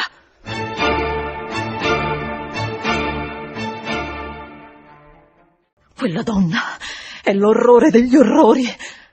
A queste parole la signora Grose tenne per un po' gli occhi fissi a terra, poi rialzandoli Ditemi come fate a saperlo, chiese. A saperlo? Perché l'ho vista, per come guardava. Vi guardava, intendete dire, malignamente? No, Dio mio, questo avrei potuto sopportarlo. A me non ha dato nemmeno un'occhiata, fissava soltanto la bambina. La signora Grose tentò di immaginarselo. La fissava. Oh, con quegli occhi spaventosi. Guardò allora nei miei quasi potessero somigliare davvero a quelli. Volete dire con antipatia? Dio ci salvi, no, no, con qualcosa di molto peggio, peggio dell'antipatia. E sembrava veramente perplessa, con una determinazione indescrivibile, con un'intenzione quasi furibonda. L'avevo fatta impallidire. Intenzione d'impadronirsi di lei, la signora Gross, guardandomi appena negli occhi, rabbrividì e andò alla finestra, e mentre stava lì a guardar fuori completai la mia osservazione. Ecco che cosa sa Flora. Poco dopo si voltò. Quella persona era vestita di nero, avete detto. Era in lutto, un lutto piuttosto povero, quasi logoro, ma sì, sì, era di una bellezza straordinaria. Comprendevo ora a che punto, passo a passo, avevo portato la vittima delle mie confidenze, poiché alle mie ultime parole la vedi duramente colpita. Oh, bella, molto bella, davvero, insistetti, meravigliosamente bella, ma infame. Lentamente tornò verso di me. Miss Jessel era infame. Ancora una volta mi presi una mano tra le sue tenendola stretta quasi per darmi forza contro la crescita di spavento che quella rivelazione poteva provocare. Tutte e due erano infami, disse finalmente. Così, per un po', guardammo in faccia la verità ancora una volta. E fu per me quasi un sostegno vedere come stavano realmente le cose. Apprezzo l'estremo riservo che vi ha impedito di parlare sino ad ora, ma è certamente arrivato il momento di rivelarmi tutto. Sembrò accondiscendere alle mie parole, ma restava tuttavia in silenzio, sicché continuai. Lo devo sapere ora. Di che cosa è morta? Avanti. C'era qualcosa tra loro due. C'era tutto. A dispetto della differenza, oh, della differenza di rango, di condizione, lo confessò gemendo. Lei era una signora. Ci pensai e compresi di nuovo. Sì, era una signora. E lui così terribilmente al di sotto. Non ho mai visto nessuno come lui. Faceva quel che voleva. Di lei, di tutti loro. Ora era come se la signorina Jessel fosse riapparsa negli occhi della mia amica. A me almeno sembrò che per un attimo la rievocassero così distintamente come io l'avevo veduta vicino allo stagno. E dichiarai risolutamente anche lei però lo doveva desiderare. Il volto della signora Grosa dimostrò che era stato davvero così, ma lei aggiunse nello stesso momento Poveretta, ha pagato per questo. Allora sapete di che cosa è morta? chiesi. No, no, non so niente, non volevo sapere niente, ero contentissima di non aver saputo nulla e ringraziai il cielo che fosse ben lontana da qui. Non avrebbe potuto restare. Ma pensate, un'istitutrice in questa casa più tardi immaginai, e lo immagino ancora, e quel che immagino è spaventoso. Scoppiai in lagrime, proprio come avevo fatto scoppiare in lagrime lei la prima volta. Mi strinse al suo seno materno e i miei gemiti dilagarono. Non ce la faccio, singhiozzai disperatamente. Non li posso né salvare né proteggere. È assai peggio di quanto immaginassi. Sono perduti.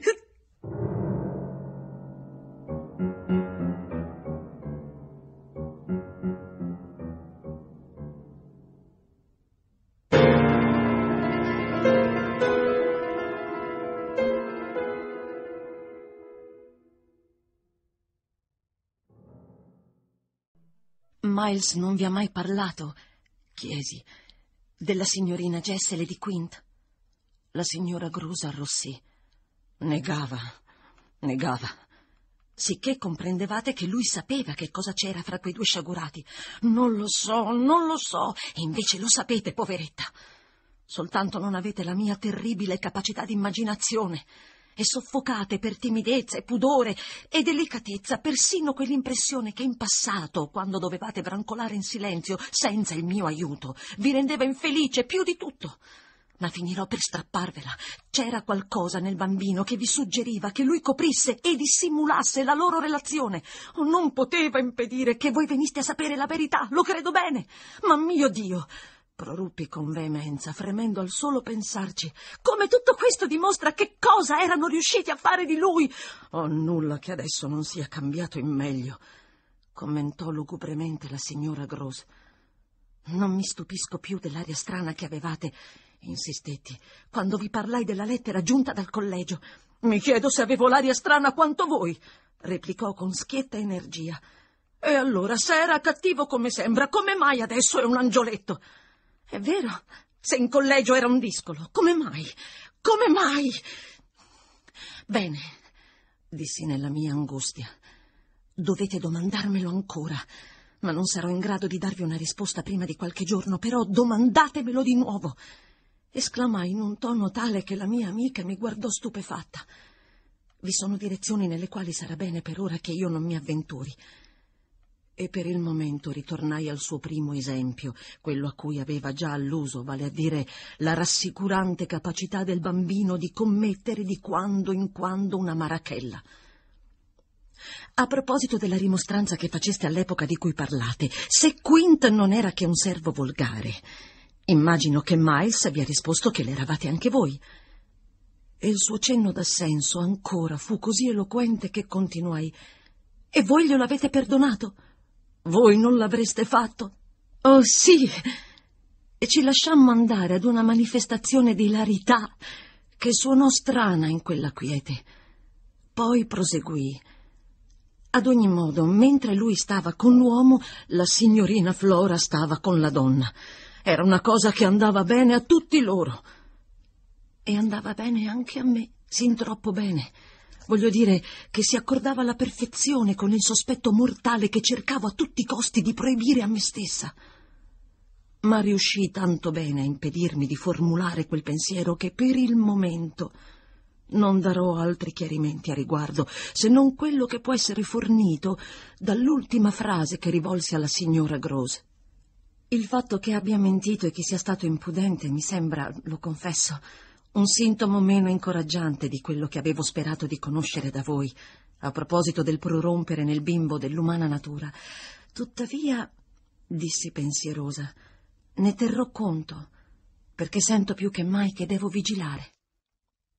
Un attimo dopo arrossivo, nel vedere dall'espressione del viso della mia amica come lei gli avesse perdonato più completamente di quanto la mia tenerezza fosse spinta a fare dall'aneddoto che mi aveva raccontato. Questo fu chiaro quando sulla porta dello studio prese congedo da me. Certamente non lo vorrete accusare di coltivare una relazione che mi nasconde? Ricordate che sino a prova contraria non accuso nessuno. Poi, prima di chiudere la porta dietro a lei che si disponeva ad andare in camera sua passando per un altro corridoio, dissi come conclusione Devo soltanto aspettare.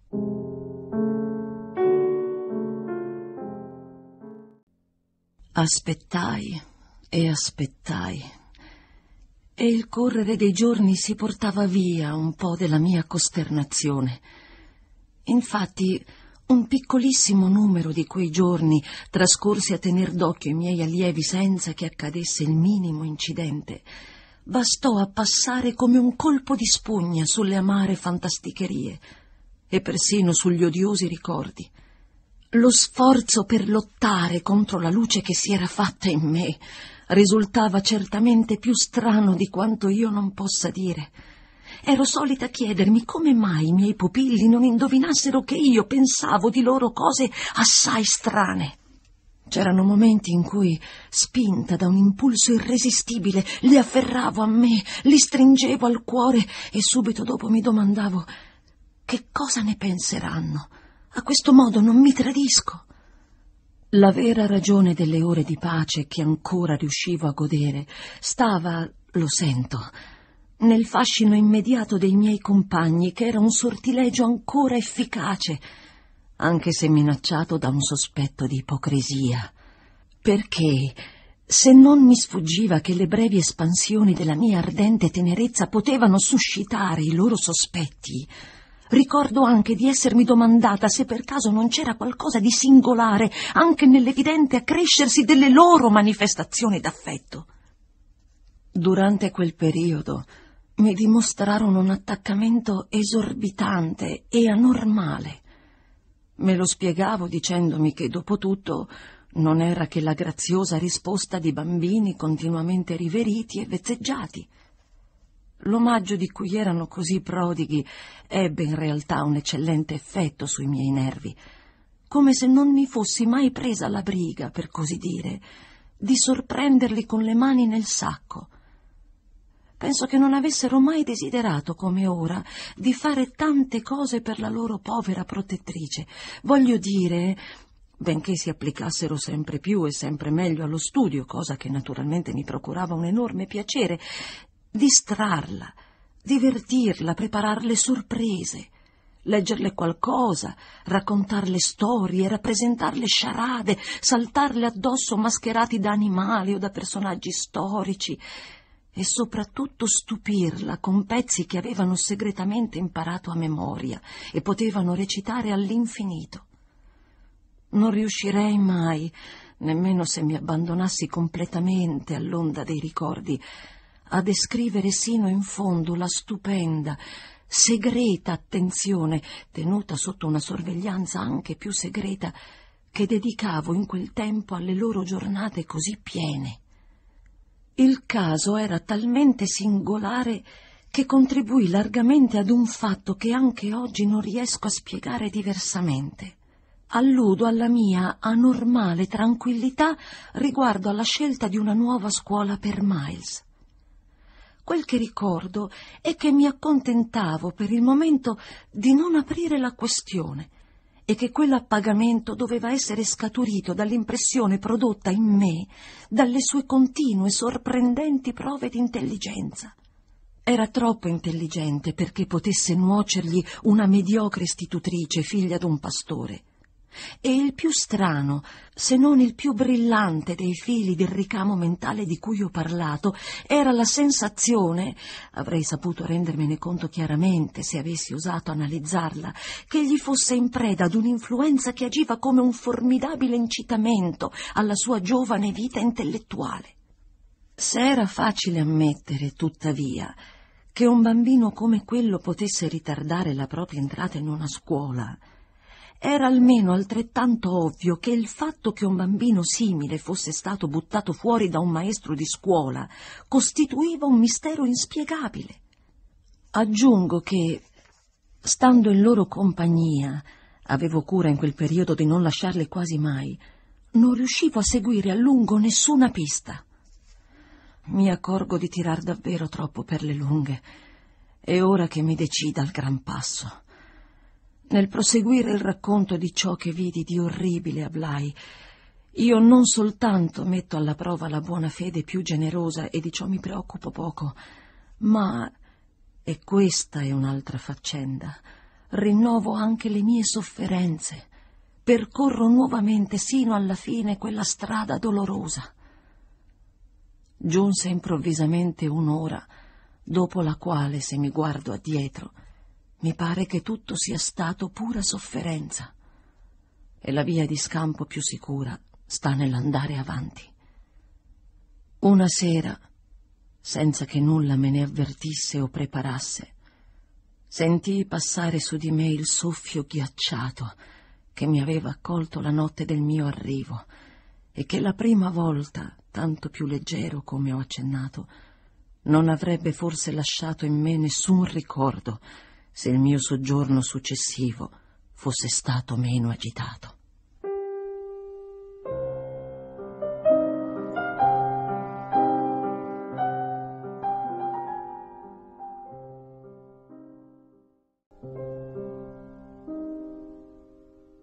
C'era a Bly una stanza piena di vecchi libri, tra cui alcuni romanzi del secolo scorso che, sebbene godessero di cattiva fama, erano penetrati per lo più sotto forma di un esemplare isolato in quella casa appartata, eccitando la mia inconfessata giovanile curiosità.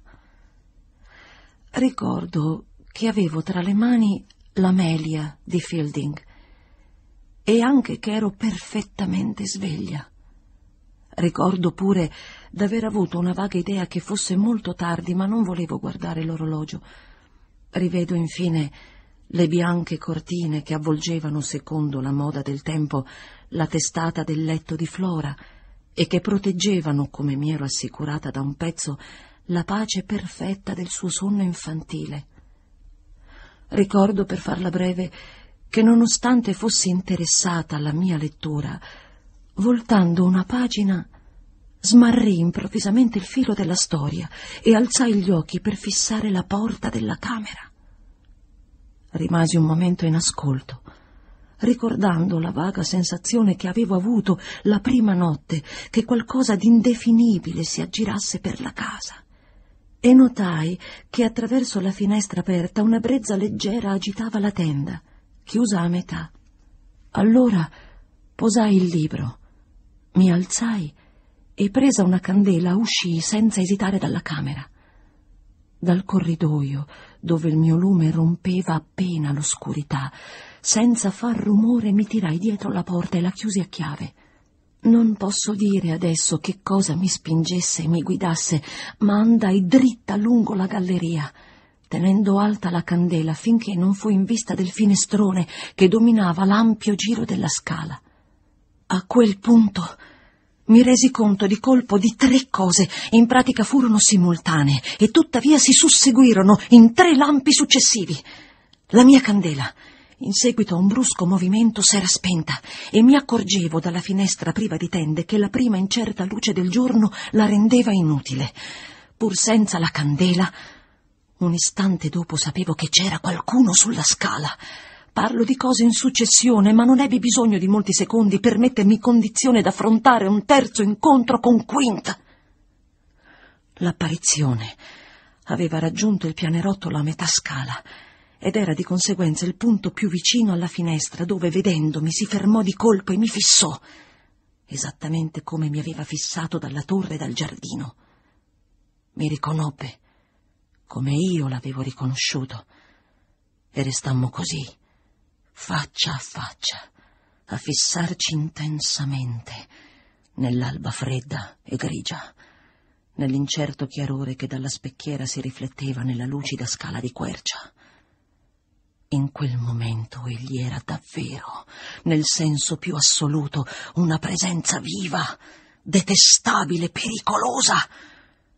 Ma non era questa la meraviglia delle meraviglie. Riservo questa definizione ad una circostanza del tutto diversa. La circostanza che la paura, senz'ombra di dubbio, mi aveva abbandonata e che non v'era nulla in me che rifiutasse di incontrarlo e di affrontarlo. Dopo quel momento straordinario provai angosce infinite, ma grazie a Dio non più terrore. Egli sapeva che non ne provavo e dopo poco ne ero magnificamente certa. Sentii in uno slancio di fiduciosa fierezza che se avessi tenuto il campo ancora per un minuto non avrei più dovuto almeno per qualche tempo tener conto di lui.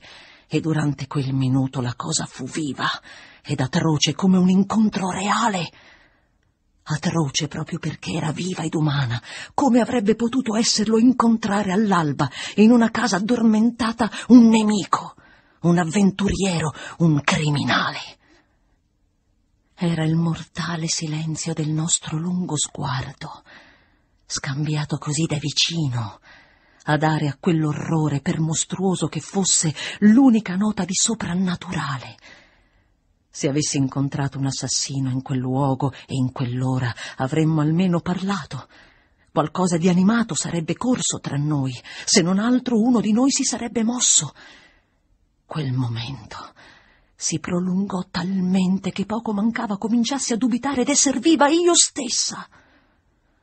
Non so esprimere ciò che accadde poi, se non dicendo che il silenzio divenne l'elemento in cui vidi scomparire la forma di lui, la vidi voltarsi, come avrei potuto veder girare su se stesso, in seguito a un ordine, il miserabile a cui essa aveva un tempo appartenuto.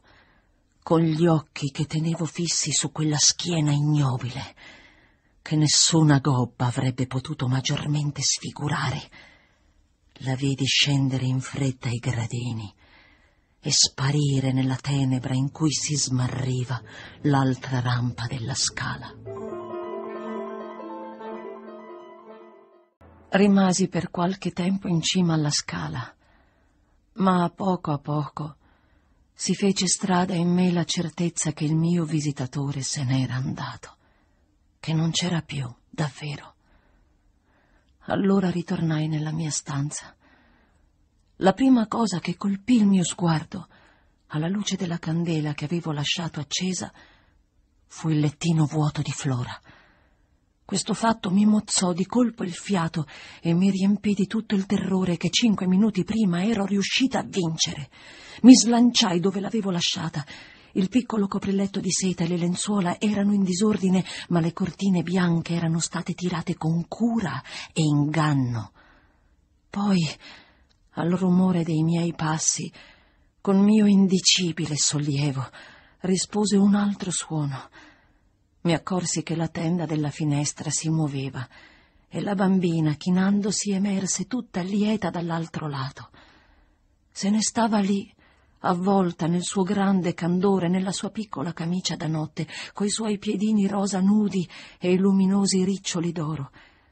Aveva un'aria molto grave e mai prima d'allora avevo tanto avuto l'impressione di perdere un vantaggio da poco acquistato, come quando mi resi conto che mi stava rivolgendo un rimprovero. Cattiva, dove siete stata? Invece di rimproverarla io per la sua indisciplina, mi sentii obbligata a darle delle spiegazioni. Ma si spiegò anche lei, con la più amabile e premurosa semplicità. Si era accorta improvvisamente che non ero più nella stanza ed era saltata dal letto per vedere che cosa mi fosse capitato.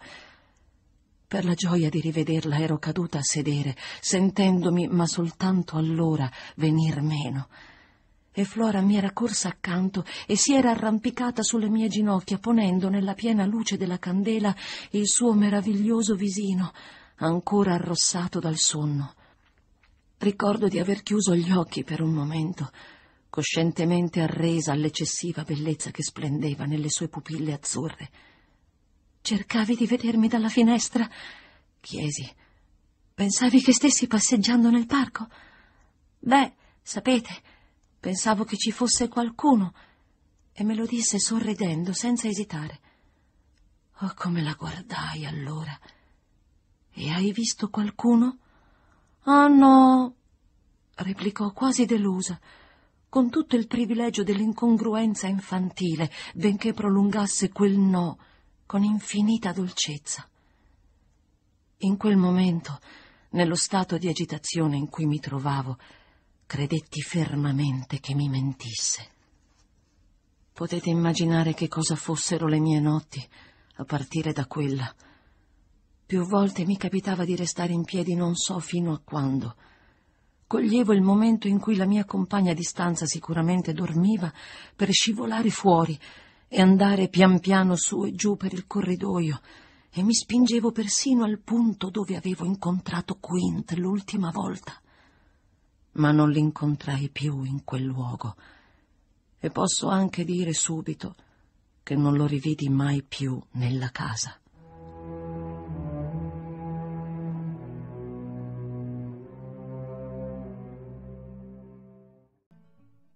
L'undicesima notte dopo il mio ultimo incontro con quel signore, ormai le contavo una per una, ebbi un allarme che rischiò di superare le mie forze e che per il suo carattere particolarmente inaspettato costituì il più grave turbamento che avessi mai provato.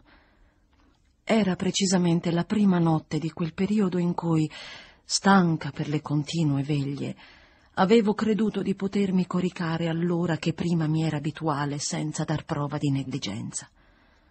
Mi addormentai immediatamente e il mio sonno durò, come seppi dopo, sino a l'una circa ma quando mi svegliai, sedetti di colpo sul letto, completamente sveglia, come se una mano mi avesse scosso. Avevo lasciato una candela accesa, ma ora era spenta, ed ebbi immediatamente la certezza che l'avesse spenta Flora. Saltai subito dal letto e nel buio andai diritta al suo. Era vuoto uno sguardo alla finestra mi illuminò ulteriormente e la luce d'un fiammifero completò il quadro.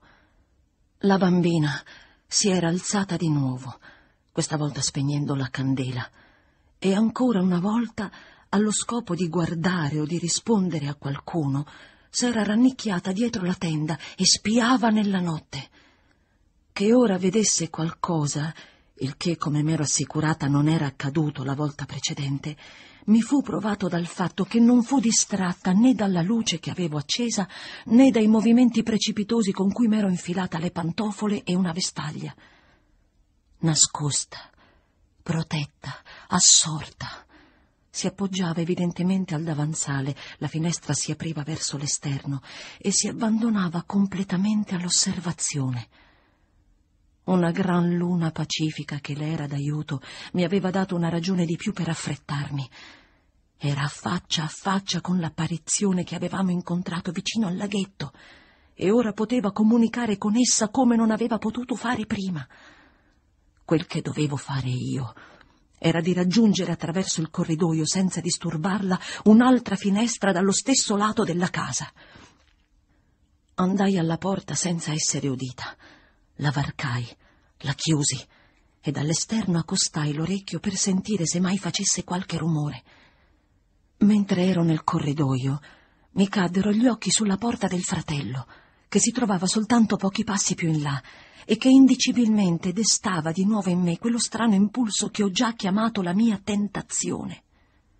E se fossi entrata dritta nella stanza per andare alla sua finestra?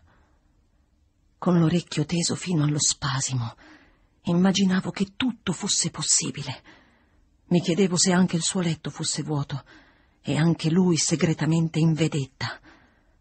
Passò un minuto interminabile, senza suoni, spirato il quale il mio impulso cedette. Era là tranquillo, poteva essere innocente, il rischio era orribile. Tornai sui miei passi.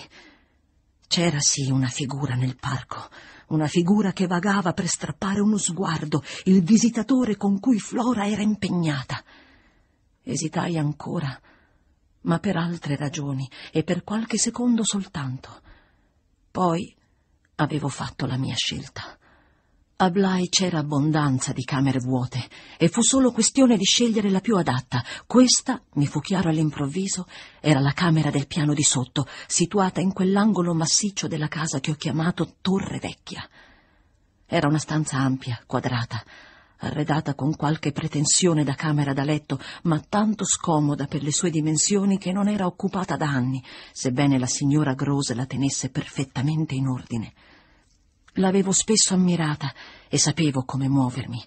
Dovevo soltanto, una volta superata la stretta al cuore provocata dall'abbandono, attraversarla ed aprire, il più silenziosamente possibile, una delle imposte.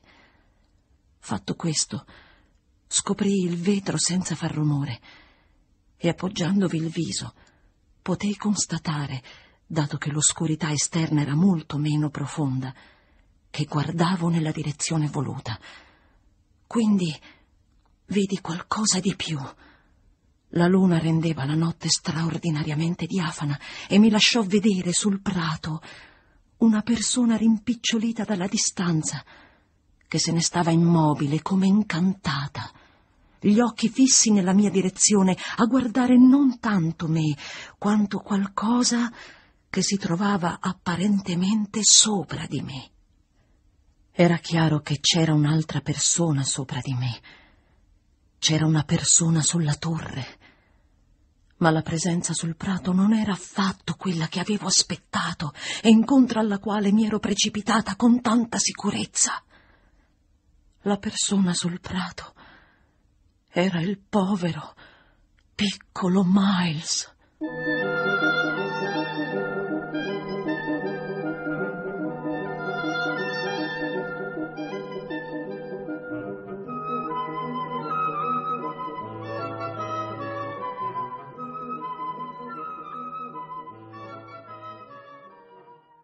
Solamente sul tardi del giorno dopo parlai con la signora Grose perché la cura che mettevo nel non perdere di vista i miei allievi mi rendeva spesso difficile incontrarla tu per tu, e molto più perché sentivamo entrambe l'importanza di non provocare, sia nella servitù che nei bambini, il sospetto di una segreta agitazione e di discussioni misteriose.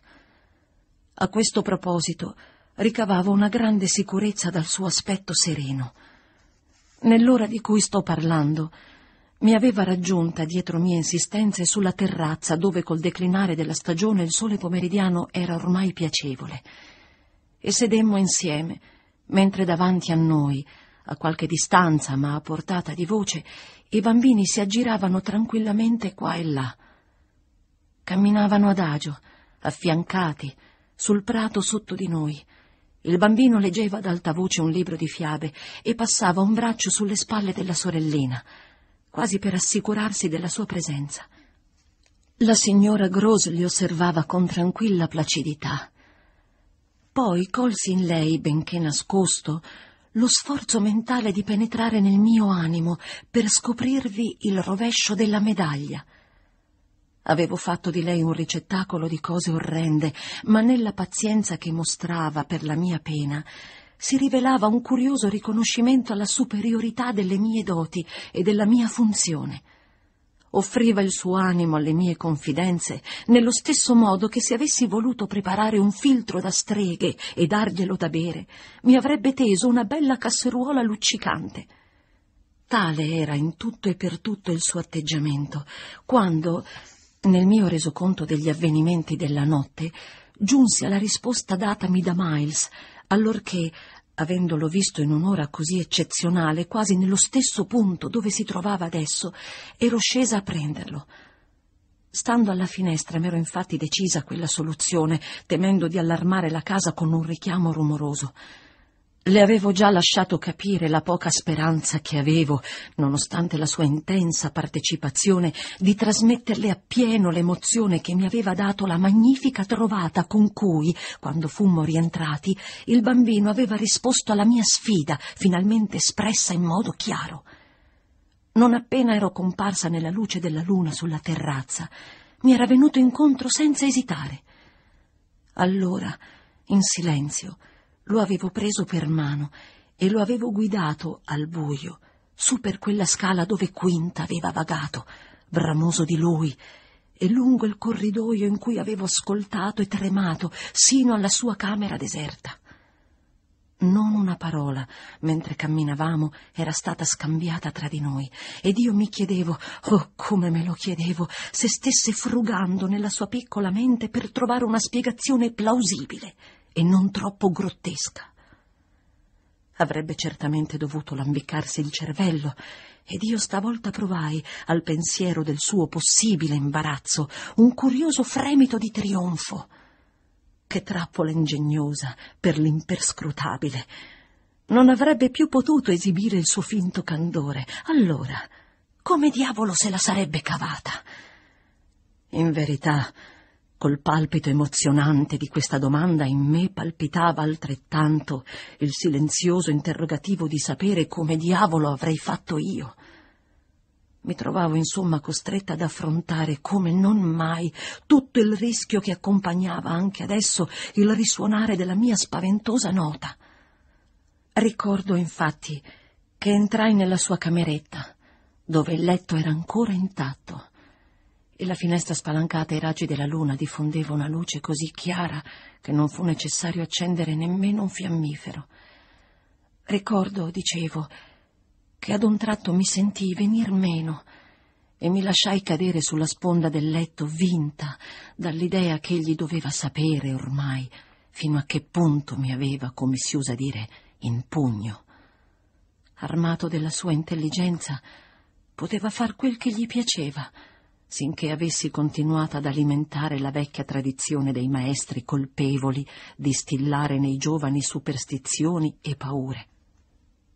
Mi aveva davvero in pugno, e in un pugno di ferro, perché chi mi avrebbe assolta, chi mi avrebbe salvata dalla forca, se col più lieve tremito di una proposta fossi stata io la prima ad introdurre nel nostro perfetto rapporto un elemento così ripugnante.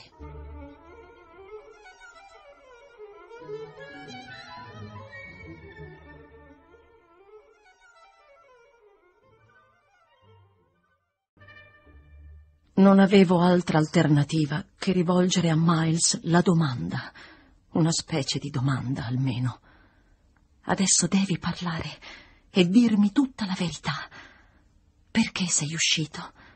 Che cosa facevi là fuori?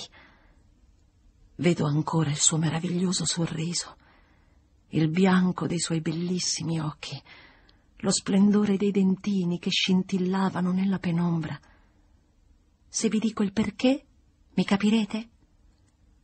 A queste parole senti il cuore in gola. Stava davvero per dirmi il perché. Mi mancò la voce per incoraggiarlo e mi accorsi che rispondevo soltanto con una smorfia vaga, prolungata e forzata di assenso.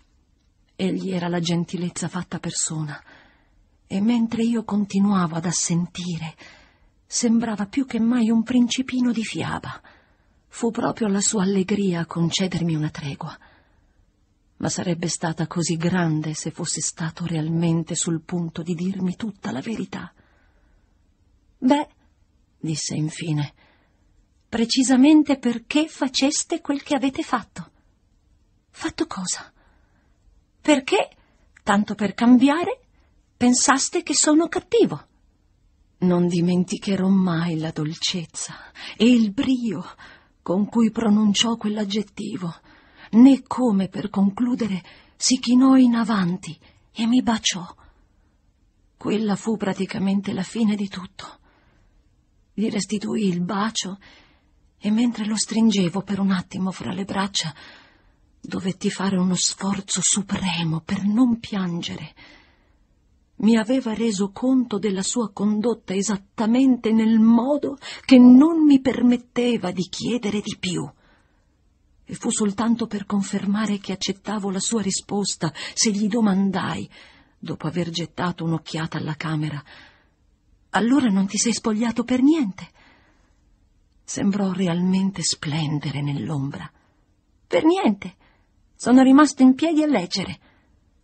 E quando sei sceso? a mezzanotte. Quando sono cattivo, sono cattivo. Vedo, vedo.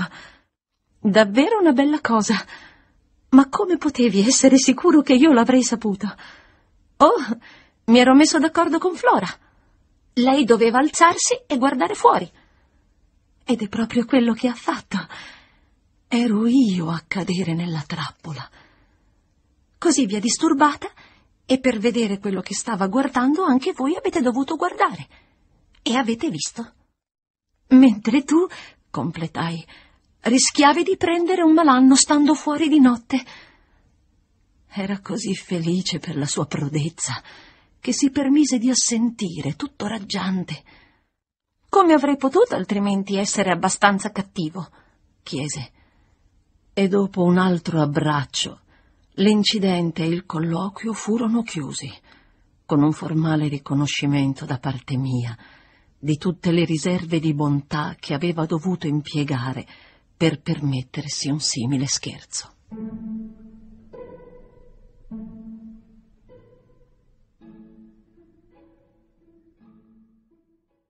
La particolare impressione che avevo ricevuto, lo ripeto, risultò difficile da presentare alla signora Grosa alla luce del giorno, benché la rafforzassi riferendo un'altra osservazione che Miles aveva fatto prima che ci separassimo. Tutto sta in una mezza dozzina di parole, le dissi, parole che mettono davvero a punto la questione. Pensate un po' a quello che potrei fare, mi ha detto, per provarmi quanto sia buono. Sa benissimo che cosa potrebbe fare. Ne ha dato un saggio a quelli del collegio. Dio mio, come siete cambiata! esclamò la mia amica. Non sono cambiata. Spiego le cose come stanno, semplicemente. Potete star sicura che quei quattro si incontrano di continuo. Se in una di queste ultime notti foste stata con l'uno o con l'altra dei bambini, lo avreste capito chiaramente. Più ho osservato e atteso, più mi sono resa conto che in mancanza d'altre prove sarebbe sufficiente il sistematico silenzio di ciascuno di loro. Mai nemmeno a fior di labbro hanno formulato una semplice allusione ai loro antichi amici, né Miles ha mai accennato alla sua espulsione dal collegio. Oh sì, sì, sì, possiamo star qui sedute a guardarli e loro possono darcela a bere sinché vogliono. Ma persino quando fingono d'essere perduti nelle loro fiabe, sono sprofondati nella visione dei morti che ritornano. Lui non sta affatto leggendo, sillabai Stanno parlando di loro. Stanno parlando di orribili cose. Oh, lo so, lo so, lo so, mi sto comportando come una pazza ed è un miracolo che non lo sia davvero. Quello che ho visto io vi avrebbe fatta impazzire, ma ha reso me soltanto più lucida. Mi ha fatto comprendere molte altre cose. La loro bellezza più che terrena, la loro bontà assolutamente anormale tutto ciò non è che un giuoco, un'ostentazione, un inganno. Non sono stati buoni, sono stati soltanto assenti. È stato facile vivere con loro semplicemente perché vivono una propria vita. Non sono miei, non sono nostri. Sono di lui, sono di lei. Di quinte della donna, di quinte della donna, vogliono arrivare a loro. Oh, come a questo punto la signora Grosa parve studiarli con cura. Ma perché? Per amore di tutto il male che in quei giorni terribili la coppia ha inculcato in loro e nutrirli ancora di quel male, continuare l'opera infernale è lo scopo del loro ritorno. Per Dinci! esclamò la mia amica, quasi senza fiato. L'esclamazione era comune, ma dimostrava un'autentica accettazione dell'ulteriore prova da me fornita di quello che doveva essere accaduto in quei giorni amari perché v'erano stati giorni certamente peggiori anche dei presenti. Nulla avrebbe potuto giustificarmi più di quel semplice consenso, dettato dalla sua esperienza, riguardo l'abisso di depravazione che già sospettavo in quella coppia di malfattori. Fu la causa per cui, vinta dal flusso dei ricordi, un momento dopo si lasciò sfuggire erano davvero delle canaglie. Ma che cosa possono fare ora? aggiunse. Fare? esclamai come un eco, ma così forte che Miles e Flora, passando da lontano, si fermarono un momento a guardarci. Non fanno già abbastanza? domandai in tono più basso, mentre i bambini, dopo averci sorriso, fatto un cenno col capo e scoccato un bacio verso di noi sulla punta delle dita, riprendevano la loro commedia. Per un momento questa attirò la nostra attenzione, poi risposi Possono distruggerli. A queste parole la mia compagna si voltò, ma la domanda che mi rivolse era muta ed ebbe solo l'effetto di rendermi più esplicita non sanno ancora esattamente come fare, ma ci stanno provando con tutte le loro forze. Si fanno vedere solo attraverso le cose, per così dire, o al di là di esse, in strani luoghi e in punti elevati sulla cima delle torri, sui tetti delle case, fuori delle finestre, sulla sponda opposta degli stagni, ma c'è un sottile proposito da entrambe le parti di accorciare le distanze e superare l'ostacolo. E il successo dei tentatori è soltanto questione di tempo. Non hanno che da insistere nelle loro tentazioni, perché i bambini accorrano e periscano nel tentativo. La signora Gross lentamente si alzò ed io aggiunsi, presa da scrupolo, a meno che, naturalmente, noi riusciamo a impedirlo. Stando in piedi, davanti a me che restavo seduta, si sforzava visibilmente di valutare la situazione. Lo zio deve impedirlo. Sta a lui portarli via. E chi lo convincerà? Fino a quel momento aveva fissato lo sguardo lontano, ma ora girò verso di me il suo volto attonito. Voi, signorina.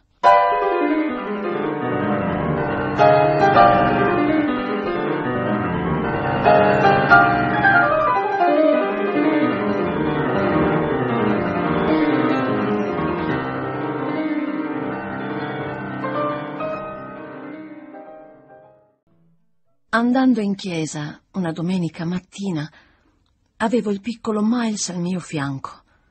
Davanti a noi, bene in vista, camminava la sorellina, al fianco della signora Grose. Era una giornata chiara, un po' fredda, la prima del genere da qualche tempo. La notte aveva disteso un velo di brina e l'aria d'autunno, frizzante e viva, rendeva quasi festoso il suono delle campane. Per una curiosa disposizione d'animo, in quel momento ero particolarmente e piacevolmente colpita dalla docilità dei miei piccoli allievi. Perché non sentivano mai il peso della mia inesorabile, perpetua compagnia? In un modo o nell'altro ero giunta a rendermi conto che non avevo fatto altro che cucire il bambino alle mie sottane e che almeno a giudicare da come i miei protetti erano guardati a vista, sembrava che volessi premunirmi contro il pericolo d'una rivolta. Ero come un carceriere che vigilasse per impedire qualche fuga o sorpresa. Ma tutto ciò, voglio dire la piccola, splendida resa dei bambini, si ricollegava proprio a quanto c'era di più singolare nelle nostre misteriosissime vicende. Vestito a festa dal sarto di suo zio, che aveva avuto mano libera e sapeva apprezzare il valore di un panciotto elegante e del portamento signorile del suo piccolo cliente, Miles portava talmente scritto in faccia il diritto all'indipendenza che gli conferivano il sesso e la sua condizione, che se all'improvviso avesse preteso la sua libertà, io non avrei saputo che cosa dire. Per la più strana coincidenza, Stavo appunto domandandomi come in tal caso avrei potuto tenergli testa, quando la rivoluzione scoppiò, senz'ombra di dubbio. La chiamo rivoluzione perché mi accorgo ora come con le poche parole che disse il sipario si alzò sull'ultimo atto del mio spaventoso dramma e la catastrofe si verificò. Per favore, mia cara, disse gentilmente. Sapreste dirmi quando mai tornerò in collegio? Così trascritto, il discorsetto suona abbastanza innocente, tanto più per essere stato pronunciato col timbro carezzevole, sincero, disinvolto che faceva sempre, per le sue intonazioni, come tante rose gettate all'interlocutore in particolar modo quando si trattava della sua eterna istitutrice. C'era qualcosa in esse che non mancava mai di prendere, e in ogni caso io ne fui allora così presa che mi fermai di colpo, come se uno degli alberi del parco fosse caduto attraverso la strada. Qualcosa di nuovo s'era levato là tra noi, ed egli era perfettamente consapevole che io me n'ero resa conto, sebbene per mettermi in quella condizione non avesse bisogno di rinunciare a un briciolo del suo candore e del suo fascino abituale. Sentivo come, per il fatto stesso che non avevo saputo cosa rispondergli subito, egli si fosse accorto d'essere in vantaggio. Misi tanto tempo a trovar le parole che egli poté con calma, dopo un minuto, continuare col suo sorriso suggestivo, ma vago. Dovreste capire, mia cara, che per un ragazzo a star sempre con una signora, quel mia cara, lo aveva sovente sulle labbra quando si rivolgeva a me e nulla più di quella affettuosa familiarità avrebbe potuto esprimere meglio la precisa sfumatura di sentimento che desideravo ispirare ai miei allievi. Era così facilmente rispettoso. Ma oh, come sentii allora quanto dovessi pesare le parole. Ricordo che, per guadagnare tempo, cercai di ridere e mi sembrò di leggere nel suo bel viso, mentre mi guardava, quant'ero brutta e strana in quel momento. E sempre con la stessa signora! esclamai. Non impallidì, non batté ciglio. L'intera faccenda era evidentemente nota a entrambi.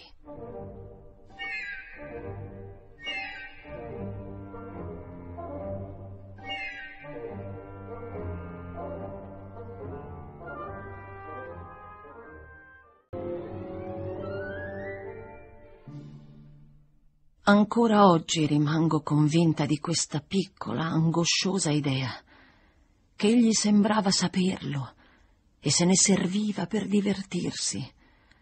E non potete dire che io non sia stato terribilmente buono, non è vero? Gli posai la mano sulla spalla, perché, sebbene sentissi quanto sarebbe stato meglio proseguire la passeggiata, non ne ero del tutto capace. No, questo non posso dirlo, Miles. Ad eccezione di quell'unica notte. Ricordate? Quell'unica notte? Non potevo guardarlo dritto in faccia, come lui stava facendo con me. Ma come? Quando sono sceso giù? quando sono uscito di casa. Oh sì, sì, ma non ricordo perché lo hai fatto. Non ve ne ricordate? E parlava con la soave esuberanza tipica dei rimproveri infantili. Ma era proprio per dimostrarvi che potevo farlo. Oh sì, potevi farlo. E posso farlo di nuovo. Sentii che forse, nonostante tutto, potevo restare in possesso delle mie facoltà. Certamente, ma non lo farai. No, non ancora quello. Quella era una cosa da niente. Era una cosa da niente, dissi. Ma ora dobbiamo andare. Riprese a camminare al mio fianco, passandomi una mano sotto braccio. Allora, quando tornerò in collegio? Mentre riflettevo, assunse la mia aria più autorevole. Eri molto felice in collegio? Sembrò pensare un momento. Oh, sono abbastanza felice ovunque. Ebbene, allora. La voce mi tremava. Se sei altrettanto felice qui. Oh, ma questo non è tutto. Naturalmente voi sapete molte cose. Vuoi farmi capire che tu ne sai quasi altrettante? Arrischiai mentre faceva una pausa. Nemmeno la metà di quello che vorrei, confessò onestamente Miles. Ma non è tanto questo. Che cos'è allora? Beh, vorrei vedere un po' più di vita. Capisco, capisco. Eravamo arrivati in vista della chiesa e di varie persone, compresi alcuni componenti della servitù di Bly, che nell'andarvi si erano raggruppati vicino alla porta per vederci entrare. Affrettai il passo. Volevo entrare prima che la nostra discussione si spingesse troppo oltre. Riflettevo nervosamente che per più di un'ora, una volta in chiesa, egli avrebbe dovuto tacere e pensavo con sollievo alla vaga penombra del recinto riservato alla famiglia e dell'aiuto quasi spirituale che mi avrebbe dato il cuscino sul quale avrei potuto poggiare le ginocchia. Avevo effettivamente l'impressione di star disputando con lui una corsa diretta confusamente a un traguardo di sua scelta. Ma sentii con chiarezza che era già arrivato dove voleva, quando, ancor prima che fossimo giunti al cimitero antistante la chiesa, disse all'improvviso Voglio vivere con i miei pari.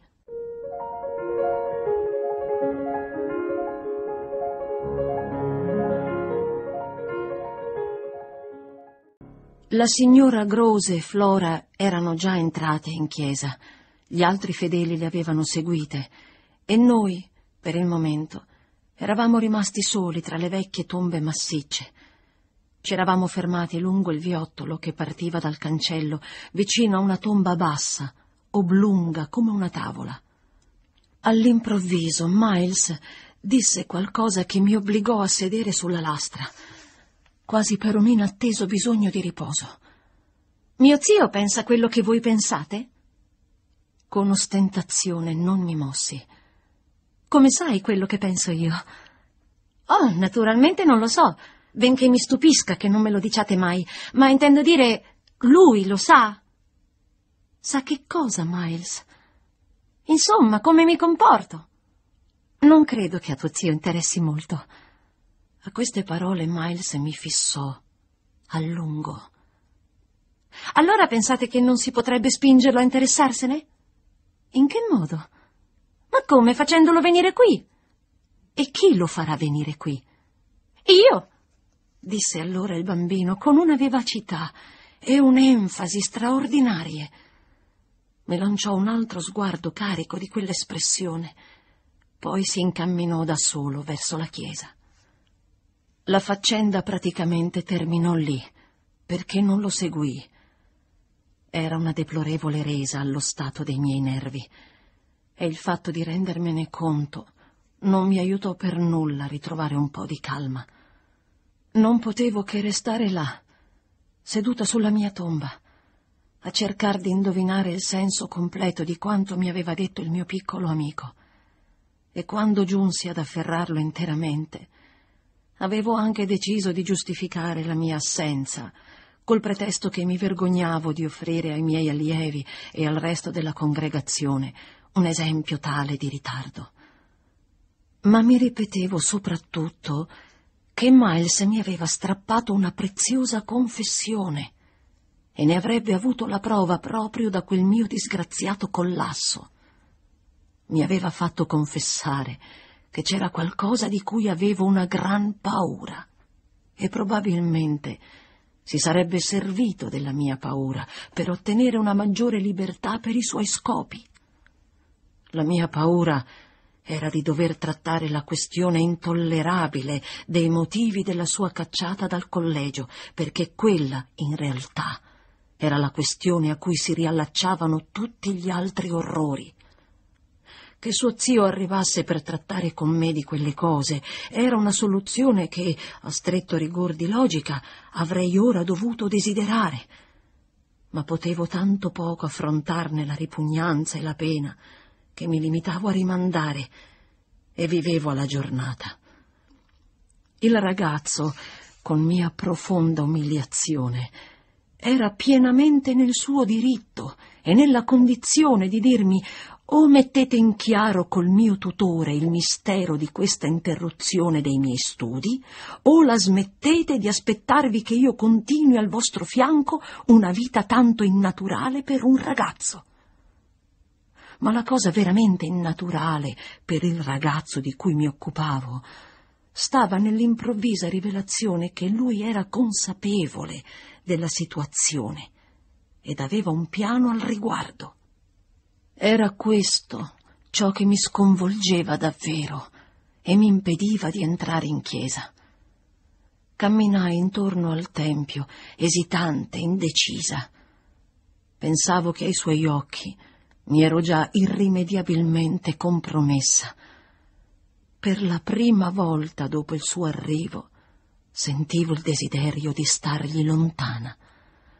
Uscii decisa dal cimitero e riflettendo intensamente ritornai sui miei passi attraverso il parco.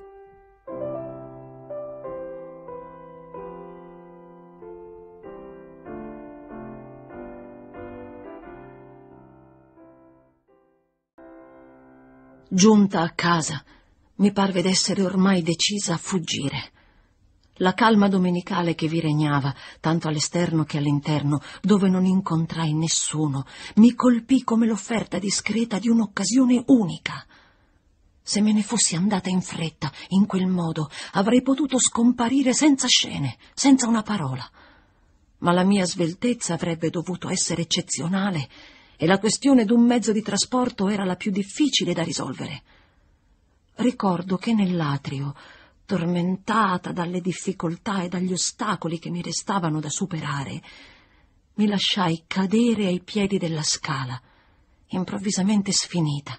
Mi sedetti sul gradino più basso, poi, con una violenta reazione, rammentai che esattamente in quel punto, più di un mese prima, nella tenebra notturna, avevo visto lo spettro della più orribile delle donne, curva sotto il peso della sua malvagità.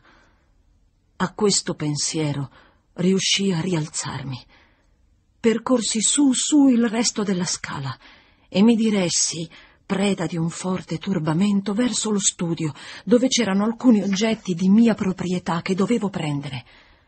Ma apersi la porta solo per scoprire in un lampo che i miei occhi s'erano riaperti. Davanti a quel che vidi, ritrovai di colpo tutta la mia capacità di resistenza. Seduta al mio tavolo, nella chiara luce del meriggio, vidi una persona che, senza la mia precedente esperienza, avrei potuto scambiare al primo sguardo per qualche domestica rimasta di guardia alla casa e che, concedendosi un raro sollievo dal suo incarico e servendosi dello scrittoio, nonché della mia penna, inchiostro e carta, si fosse dedicata alla considerevole fatica di scrivere una lettera al suo innamorato.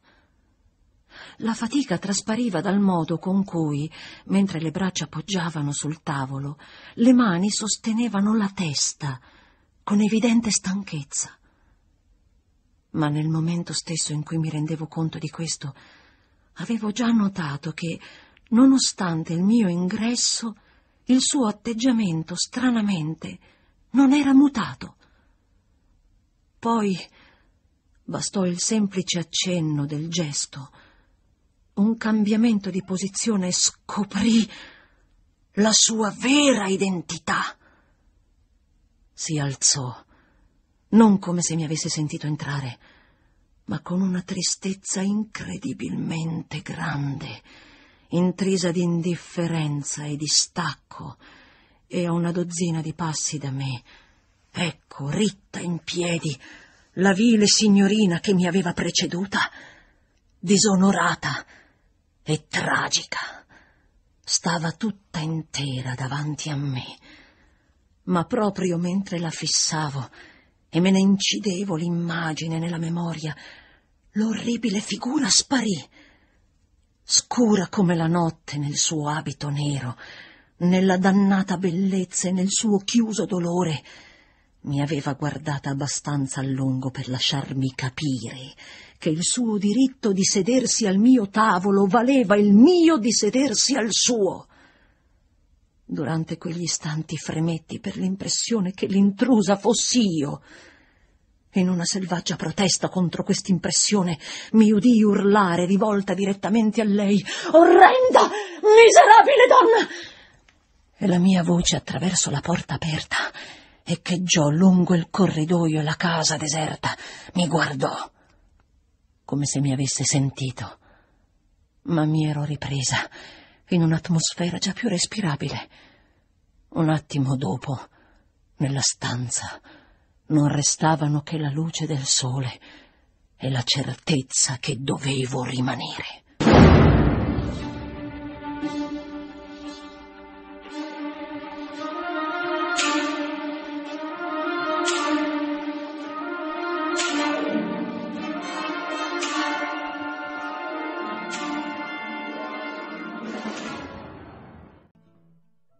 Ero talmente sicura che il ritorno dei miei allievi sarebbe stato accompagnato da qualche rimostranza, che provai un nuovo turbamento nel vedere che non aprivano bocca a proposito della mia assenza. Invece di rimproverarmi gaiamente e di blandirmi, non allusero minimamente al fatto che li avevo lasciati soli. E per il momento non mi rimase che studiare la strana espressione della signora Gross visto che anche lei non mi diceva nulla. Lo feci intenzionalmente e alla fine mi convinsi che in qualche modo l'avevano costretta al silenzio. Un silenzio tuttavia che mi ripromettevo di rompere non appena ci fossimo trovati a tu per tu. L'occasione buona si presentò prima dell'ora del tè. Feci in modo di restare cinque minuti con lei nella sua stanza, dove, nel crepuscolo, in mezzo all'odore del pane appena brustolito, ma con tutto bene in ordine intorno a sé, la trovai seduta, davanti al fuoco, in una tranquilla sofferenza. Sono venuta con voi soltanto per fare una passeggiata, dissi. Poi ho dovuto tornare indietro per incontrare un'amica. Si mostrò sorpresa. Un'amica? Voi? Sono tornata a casa, mia cara, proseguì, per fare due chiacchiere con la signorina Jessel. Avevo preso ormai l'abitudine, prima di toccare questo tasto, di avere bene in pugno la signora Gross, sicché persino in questa circostanza, mentre sbatteva coraggiosamente le palpebre al significato delle mie parole, riuscì a tenerla relativamente calma. Due chiacchiere. Volete dire che lei ha parlato è accaduto così. L'ho trovata al ritorno nel mio studio. E che cosa ha detto? Mi par di sentire ancora in quella brava donna la sincerità del suo stupore. Che soffri tormenti. Fu questo, in realtà, che la riempì di stupore e rimase a bocca aperta, sforzandosi di ricostruire la scena. Volete dire, balbettò, delle anime perdute? Delle anime perdute, dei dannati, e perciò per dividerli con qualcuno. A mia volta per l'orrore mi mancò la voce, ma la mia compagna meno dotata di immaginazione, mi incalzò per dividerli con... vuole Flora! A queste parole la signora Grose mi sarebbe potuta sfuggire di mano se non fossi stata più che preparata. La tenni ben stretta per provarle che lo ero. Ma come vi ho già detto, non importa. Perché avete deciso, ma deciso che cosa? Ogni cosa, e cioè... Ma come? Mandare a chiamare lo zio? Oh, signorina, per carità, fatelo! esclamò la mia amica. Ah, ma lo farò, lo farò. Vedo che è l'unica soluzione. Ciò che si è chiarito tra Miles e me è proprio questo: che se lui crede che io abbia paura di farlo e ha certe idee su quel che ne potrebbe guadagnare, vedrà che si è sbagliato. Gli scriverò chiaramente. Proseguì su un tono inesorabile che m'è impossibile occuparmi di questa faccenda trattandosi d'un ragazzo cacciato per motivi che non abbiamo mai saputo, dichiarò la signora Gross, per cattiva condotta. Per quale altra ragione? Dal momento che è così intelligente, è bello, è perfetto, è forse uno sciocco? Ha cattive maniere, è malaticcio, ha un brutto carattere, no, è squisito, quindi può essere stato soltanto per quello. E quel motivo chiarisce tutto. In fondo, dissi, la colpa è dello zio se ha lasciato qui gente di quella risma. Veramente lui non li conosceva bene. La colpa è mia. Era diventata pallidissima. Beh, non dovete tormentarvi voi, risposi. I bambini non devono soffrire, ribatté con enfasi. Tacqui per un poco, mentre continuavamo a fissarci.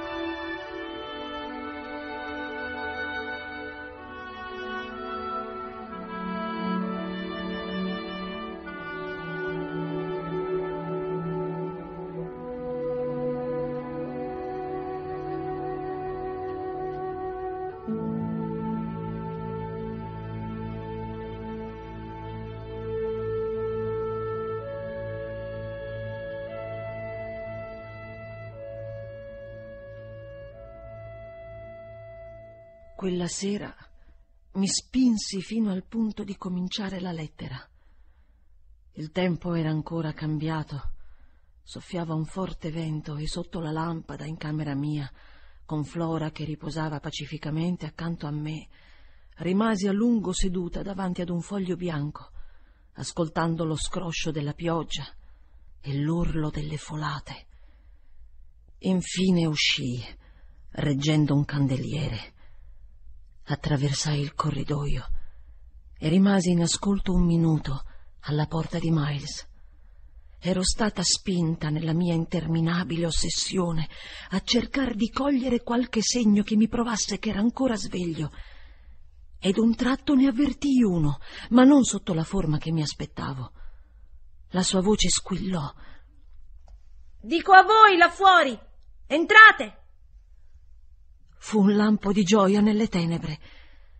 Entrai con il mio candelabro e lo trovai a letto, sveglissimo e tuttavia perfettamente tranquillo. Come hai fatto a sapere che ero là fuori? Ma vi ho sentita, naturalmente. Credete forse di non far rumore? Sembrate uno squadrone di cavalleria. E scoppiò in una bella risata. Allora non dormivi? Non proprio. Ero sveglio e pensavo. Avevo messo di proposito il mio candeliere a una certa distanza, ma poi dal momento che mi tendeva amichevolmente la mano, mi ero seduta sulla sponda del letto. A che cosa stavi pensando? domandai. E a chi altri, mia cara, se non a voi? Ah, il tuo apprezzamento mi lusinga, ma non pretendo tanto. Preferirei di gran lunga che tu dormissi. Penso anche, sapete, a questa nostra strana faccenda. Avevo notato la freddezza di quell'energica manina. Quale strana faccenda, Miles? Come quale? Il modo con cui mi educate e tutto il resto. Per un minuto buono restai senza fiato, e anche la luce tremolante della candela era sufficiente a mostrarmi come mi sorrideva dal suo guanciale. Cosa intendi dire con tutto il resto? Oh, ma voi lo sapete, voi lo sapete. Per un minuto ancora non fui in grado di parlare, sebbene sentissi, mentre gli tenevo la mano e i nostri sguardi continuavano a incrociarsi, che il mio silenzio aveva proprio l'aria di approvare quanto aveva detto e che nulla forse nell'intero mondo della realtà era in quel momento più fantastico della nostra attuale relazione. Certamente tu farai ritorno in collegio, dissi se è questo che ti turba. Ma non in quello dove stavi prima. Dobbiamo trovarne un altro, uno migliore. Come potevo immaginare che questo problema ti preoccupava tanto se non me l'hai mai detto, non me ne hai mai parlato affatto? Sembrò riflettere, poi sorrise di nuovo, con la sua solita amabilità. Ma era evidente che voleva guadagnar tempo. Aspettava, cercava qualcosa che lo guidasse, Davvero non l'ho mai fatto? Non stava a me aiutarlo, stava a ciò in cui io stessa m'ero imbattuta. Qualcosa nel tono della voce e nell'espressione del viso mentre mi parlava così mi aveva trafitto il cuore con una pena che non avevo provato mai tanto era indicibilmente toccante lo spettacolo del suo piccolo cervello tormentato e di tutti i piccoli artifici cui ricorreva per recitare, costretto dal sortilegio che pesava su di lui, una parte ingenua e coerente. No, mai, dal momento in cui sei tornato. Non mi hai nominato mai uno dei tuoi insegnanti, uno dei tuoi compagni. Mai, mio piccolo Miles. Non ti ho mai sentito fare la benché minima allusione alla tua vita passata. Sembravi accettare il presente nella maniera più completa e definitiva. Era straordinario come la mia assoluta convinzione della sua segreta precocità me lo faceva apparire, nonostante i segni appena visibili del suo intimo turbamento, accessibile come una persona adulta e me lo imponeva quasi come un mio pari dal punto di vista intellettuale. Pensavo che desiderasse andare avanti così, lo vidi a questo punto arrossire leggermente. Ad ogni modo, come un convalescente un po' affaticato, scosse languidamente la testa. No, no, voglio andar via. Sei stanco di Bly? Oh no, Bly mi piace. Bene, e allora? Oh, voi sapete bene che cosa vuole un ragazzo. Sentivo di non saperlo bene quanto Miles e cercai uno scampo momentaneo. Vuoi andare da tuo zio? Di nuovo, a queste parole, la sua cara faccia ironica fece un movimento sul guanciale. Ah, non ve la potete cavare così. Per un po' restai in silenzio, e forse fui io questa volta a cambiar colore. Ma caro, non intendo affatto cavarmela. Non potete, nemmeno se lo voleste, non potete, non potete. E giaceva sul letto guardandomi, coi suoi begli occhi. Mio zio deve venire qui e voi dovete sistemare tutto quanto. L'emozione mi travolse al punto di non poterla più dominare, tanto che mi lasciai vincere. Mi gettai su di lui e lo abbracciai con tutta la tenerezza che nasceva dalla mia pietà. Mio caro piccolo, mio caro piccolo Miles.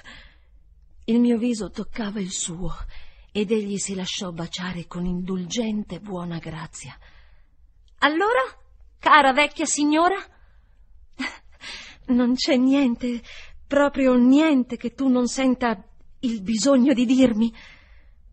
Si girò un poco, volgendosi al muro, e alzò la mano per guardarla, come si vede fare spesso ai bambini malati.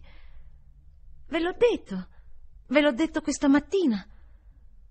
Oh, come soffrivo per lui. Cioè che vorresti soltanto che io non ti disturbassi? Si volse a guardarmi, come per dimostrarmi che l'avevo compreso.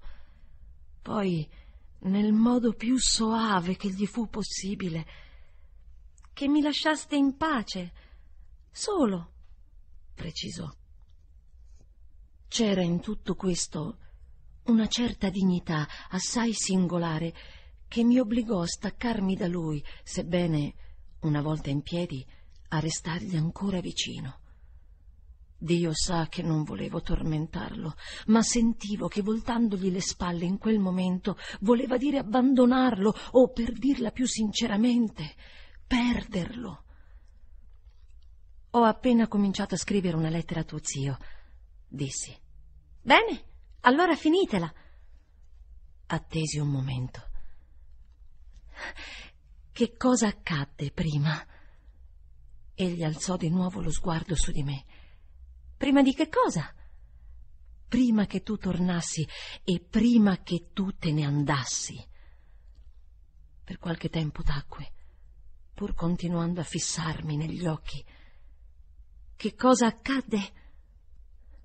Il tono di queste parole, in cui mi parve di sentire per la prima volta il palpito lieve d'una coscienza pronta a cedere, mi fece cadere in ginocchio accanto al letto nel rinnovato tentativo di cogliere l'occasione di riconquistarmelo. Miles, mio caro, se tu sapessi come desidero aiutarti, è soltanto questo, nient'altro che questo, e preferirei morire piuttosto che darti un dispiacere o farti un torto. Oh, io preferirei morire piuttosto che torcerti un solo capello. Caro piccolo Miles, oh, lasciavo ora che tutto mi uscisse di bocca, anche a rischio di andare troppo oltre. Voglio soltanto che tu mi aiuti a salvarti ma un attimo dopo sapevo d'essere andata troppo oltre. La risposta al mio appello fu istantanea, ma venne sotto forma d'una fortissima ventata gelida, una folata d'aria ghiaccia e un tremito della stanza come se, sotto l'impeta del vento, la finestra avesse ceduto. Il bambino lanciò un urlo acutissimo, che perduto in quel frastuono poteva essere preso indifferentemente e nonostante gli fossi tanto vicina, per un'esclamazione di gioia, come di terrore. Balzai di nuovo in piedi. Era buio. Restammo così per un momento, mentre io mi rendevo conto che le tende erano rimaste tirate e la finestra chiusa. Ma la candela è spenta! gridai. Sono io che l'ho spenta, cara, disse Miles.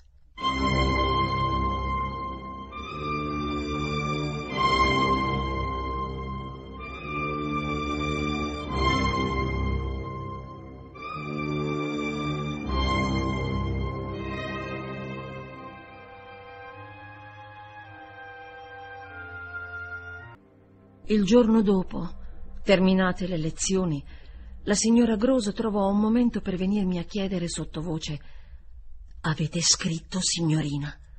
Sì, ho scritto. Ma non aggiunsi al momento che la lettera, chiusa e indirizzata, si trovava ancora nella mia tasca. Vi sarebbe stato tempo a sufficienza per spedirla al villaggio prima che vi passasse il postino. Frattanto, quella mattina i miei allievi erano stati più brillanti, più esemplari che mai.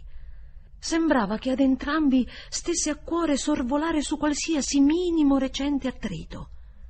Seppero risolvere i più complicati problemi aritmetici, superando tranquillamente le mie limitate capacità, e combinarono con un fervore più grande del solito i loro scherzi geografici e storici. In particolare Miles, naturalmente, si mostrava ansioso di provarmi come gli riuscisse facile averla meglio su di me. Questo bambino, nei miei ricordi, vive realmente su uno sfondo di bellezza e di sventura che nessuna parola potrebbe esprimere. Rivelava una sua particolare distinzione in ogni gesto. Mai nessuna creatura così giovane e autentica che agli occhi dei non iniziati appariva assolutamente franca e libera, fu un più ingegnoso, un più straordinario piccolo gentiluomo Dovevo stare continuamente in guardia per resistere allo stupore, all'ammirazione a cui i miei occhi, seppure iniziati, tentavano di trascinarmi. In ogni caso, egli non si era mai dimostrato un perfetto gentiluomo come quando, dopo la nostra colazione di buon'ora in quel terribile giorno, mi si avvicinò e mi chiese se desideravo che per una mezz'ora suonasse per me sedette al vecchio pianoforte e suonò come non aveva mai suonato. E se qualcuno pensa che avrebbe fatto meglio uscir fuori e prendere a calci un pallone, posso soltanto dire che sono pienamente d'accordo con lui, poiché al termine di un periodo di tempo che, stregata da lui, avevo smesso di misurare, mi riscossi di colpo con la strana sensazione di aver letteralmente dormito sulla poltrona. Tutto ciò accadeva dopo pranzo, accanto al caminetto dello studio, e tuttavia non avevo in realtà dormito. Avevo soltanto fatto qualcosa di peggio. Avevo dimenticato. Dov'era stata Flora in tutto quel tempo? Quando rivolsi questa domanda a Miles, Continuò a suonare per un minuto prima di rispondere e alla fine si limitò a dire Mia cara, e come potrei saperlo io? scoppiando per giunta in un'allegra risata che immediatamente dopo, quasi fosse un accompagnamento vocale, prolungò in una canzone incoerente, stravagante. Andai dritta in camera mia, ma sua sorella non c'era. Poi Prima di scendere al pian terreno, guardai molte altre stanze, poiché non era lì, doveva essere di sicuro con la signora Gross, alla ricerca della quale mi misi, rassicurata da quella convinzione. La trovai dove l'avevo trovata la sera prima, ma alla mia brusca domanda rispose spaventata e stupita di non sapere nulla. Aveva semplicemente supposto che dopo il pranzo io avessi portato fuori tutti e due i bambini. E quanto a questo aveva perfettamente ragione, perché era la prima volta che permettevo alla piccolina di allontanarsi senza un motivo motivo particolare. Naturalmente ora poteva essere in compagnia delle cameriere, sicché la prima cosa da fare era di metterci a cercarla senza dare a vedere la nostra preoccupazione. Ci mettemmo subito d'accordo a questo riguardo, ma quando dieci minuti dopo ci ritrovammo nell'atrio come avevamo stabilito, Potemmo soltanto riferirci a vicenda che non eravamo riusciti a rintracciarla, nonostante le nostre accurate ricerche. Per un minuto lasciata da parte ogni osservazione, ci scambiammo uno sguardo di allarme e mi accorsi allora con quale pesante interesse la mia amica mi restituiva tutto quanto avevo scaricato su di lei fin dal principio. Deve essere di sopra, disse dopo un poco, in una delle stanze in cui non avete cercato. No, è lontana da qui, avevo stabilito. È uscita. La signora Gross mi guardò stupita. Senza cappello! Le risposi naturalmente con uno sguardo carico di significato. Quella donna non è sempre a testa scoperta. È con lei. È con lei. Dobbiamo trovarle, dichiarai. Il gioco è fatto.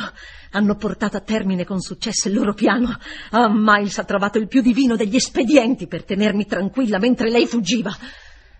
Finiva sempre, in momenti come quello, per stringermi la mano e in tal modo sarebbe riuscita anche quella volta per fermarmi. Ma dopo aver ansimato per un po' sotto il colpo della mia improvvisa rinuncia, proruppe ansiosamente. È a causa della vostra lettera. Rapidamente cercai la lettera, la tirai fuori, l'alzai e poi, liberandomi da lei, andai a deporla sulla grande tavola dell'atrio. La prenderà Luke, dissi tornando sui miei passi. Raggiunsi la porta d'ingresso e la persi. Un attimo dopo ero già sugli scalini.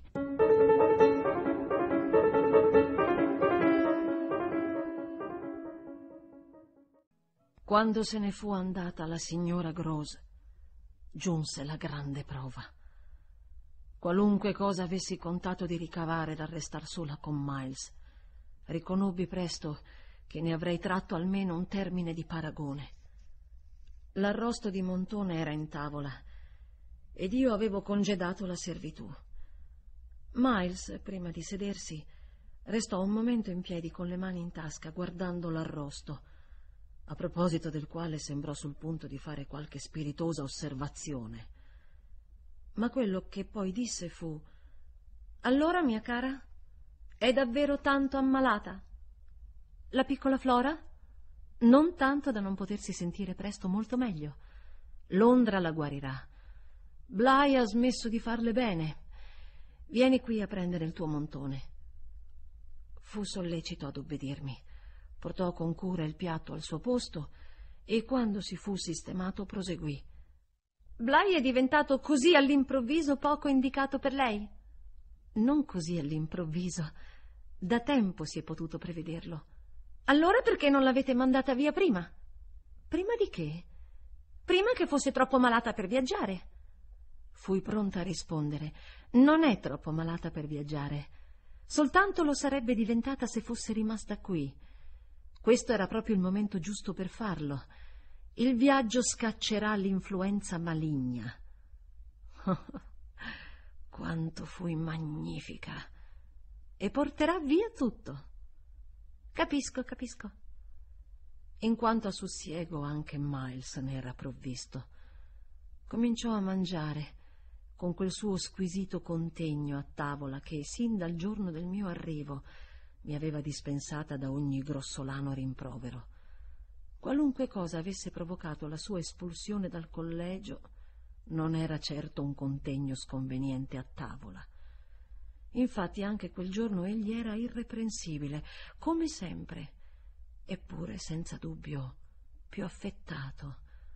Era chiaro che cercava di dare per scontate più cose di quante non gli fosse possibile ammettere senza spiegazioni. E si immerse in un quieto silenzio mentre pensava alla sua situazione. Il pasto fu dei più brevi per parte mia una vana finzione, e feci rapidamente sparecchiare. Mentre questo avveniva, Miles rimase nuovamente in piedi con le mani in tasca, voltandomi la schiena. Stava in piedi e guardava fuori della grande finestra attraverso la quale, quell'altro giorno, avevo visto ciò che mi aveva sconvolta. Finché la domestica rimase con noi, restammo in silenzio in silenzio, pensai ironicamente, come una giovane coppia in viaggio di nozze intimidita in una locanda alla presenza del cameriere. Si voltò soltanto quando la domestica ci ebbe lasciati. Bene, eccoci dunque soli. O più o meno. Penso che il mio sorriso fosse scialbo. Non completamente. Non ci piacerebbe. Continuai. No, suppongo di no. Naturalmente ci sono gli altri. Ci sono gli altri. Ci sono davvero gli altri. Assentii. Non di meno, benché ci siano, replicò sempre piantato davanti a me con le mani in tasca, non contano molto per noi, vero? Cercai di fare del mio meglio, ma mi sentivo sfinita. Dipende da quello che tu intendi per molto. Sì, rispose assai conciliante. Tutto dipende da quello. Giravamo in cerchio, carichi di terrore e di incertezza, come lottatori che non osino avvicinarsi. Ma era l'uno per l'altra che temevamo. Questo ci tenne un po' più a lungo nell'attesa e senza ferite. Vi dirò tutto, disse Miles. Intendo dire che vi dirò tutto quello che volete. Resterete ancora con me e staremo bene tutti e due ed io vi dirò tutto. Sì, vi dirò tutto. Ma non ora. Perché non ora? La mia insistenza lo distolse da me e lo fece ritornare ancora una volta vicino alla finestra, in un tale silenzio che tra noi si sarebbe sentito cadere uno spillo. Poi fu di nuovo davanti a me, con l'aria di una persona attesa fuori di casa da qualcuno con cui si devono fare i conti a viso aperto. Devo vedere Luke. Non lo avevo ancora mai costretto a dire una bugia così grossolana e mi sentii invasa da vergogna in proporzione. Ma per quanto fosse orribile, le sue bugie contribuivano a dar forma alla mia verità. Pensosa, terminai alcune maglie del mio lavoro. Bene, allora vada Luke, ed io aspetterò che tu faccia quanto mi hai promesso. Soltanto, prima di lasciarmi, in cambio soddisfa una richiesta molto più modesta. Mi guardò, come se sentisse di aver conseguito un successo così grande da poter mercanteggiare ancora un po'. Molto più modesta? Sì, proprio una frazione dell'intero. Dimmi. Oh, il mio lavoro mi teneva occupata e parlai con indifferenza.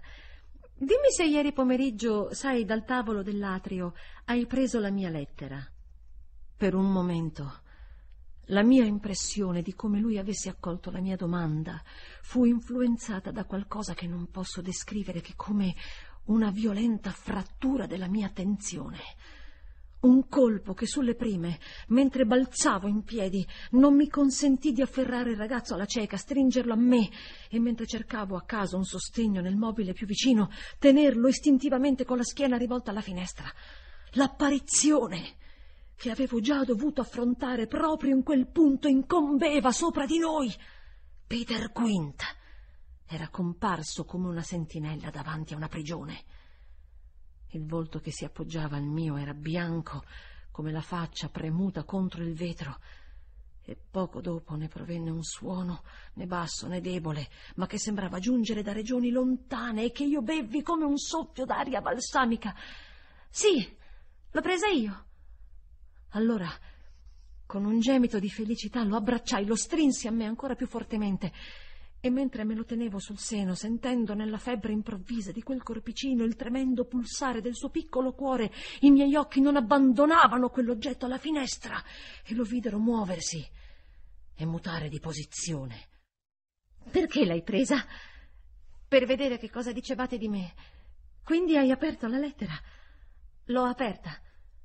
Il mio sguardo, ora che avevo un poco allentato la stretta, si posava sul viso di Miles, sul quale, caduta quell'aria ironica, si leggeva quanto fosse completa la devastazione dell'inquietudine.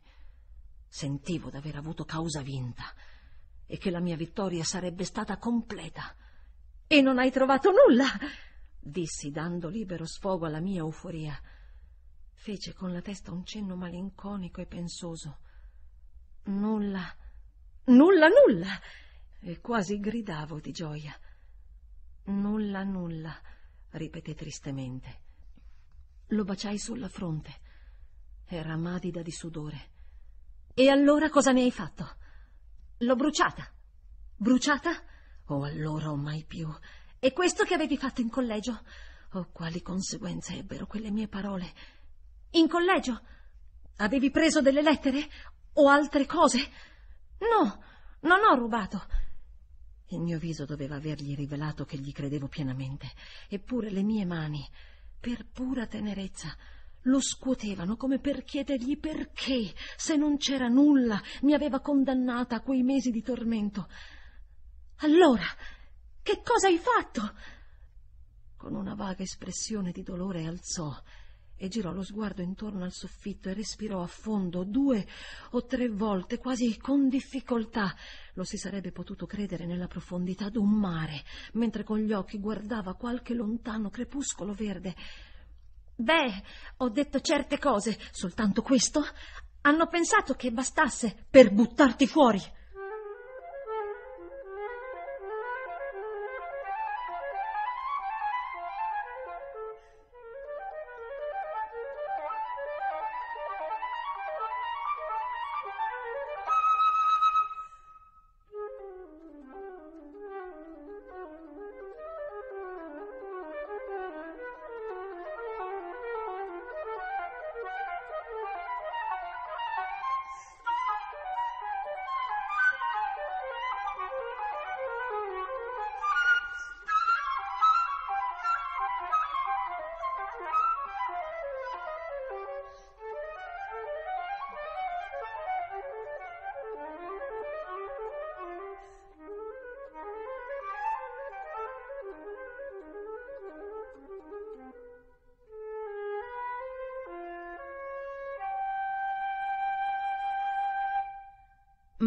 Certamente persona buttata fuori si mostrò meno prodiga di spiegazioni di quello strano ometto.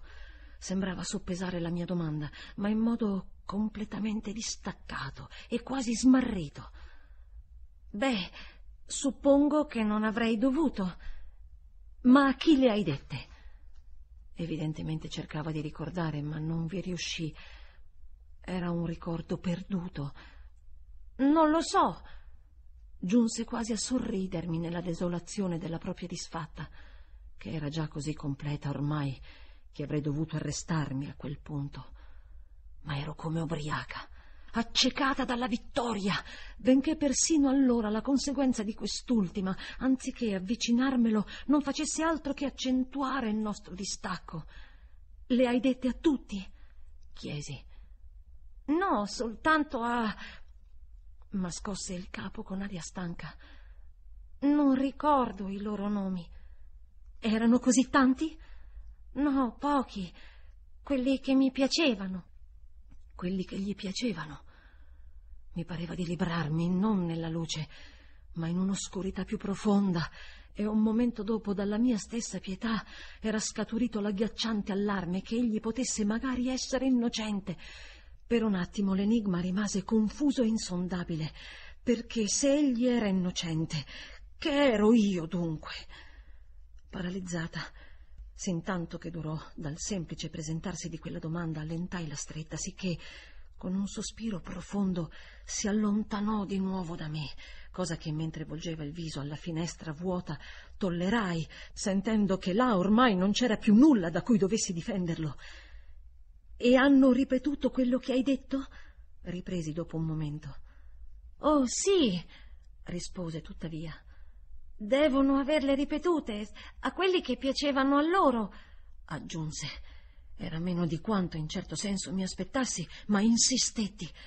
E quelle cose giunsero all'orecchio dei maestri? Oh sì, rispose con molta semplicità. Ma non sapevo che le avrebbero ripetute. I maestri? Loro no, non ne hanno mai parlato, per questo te l'ho domandato.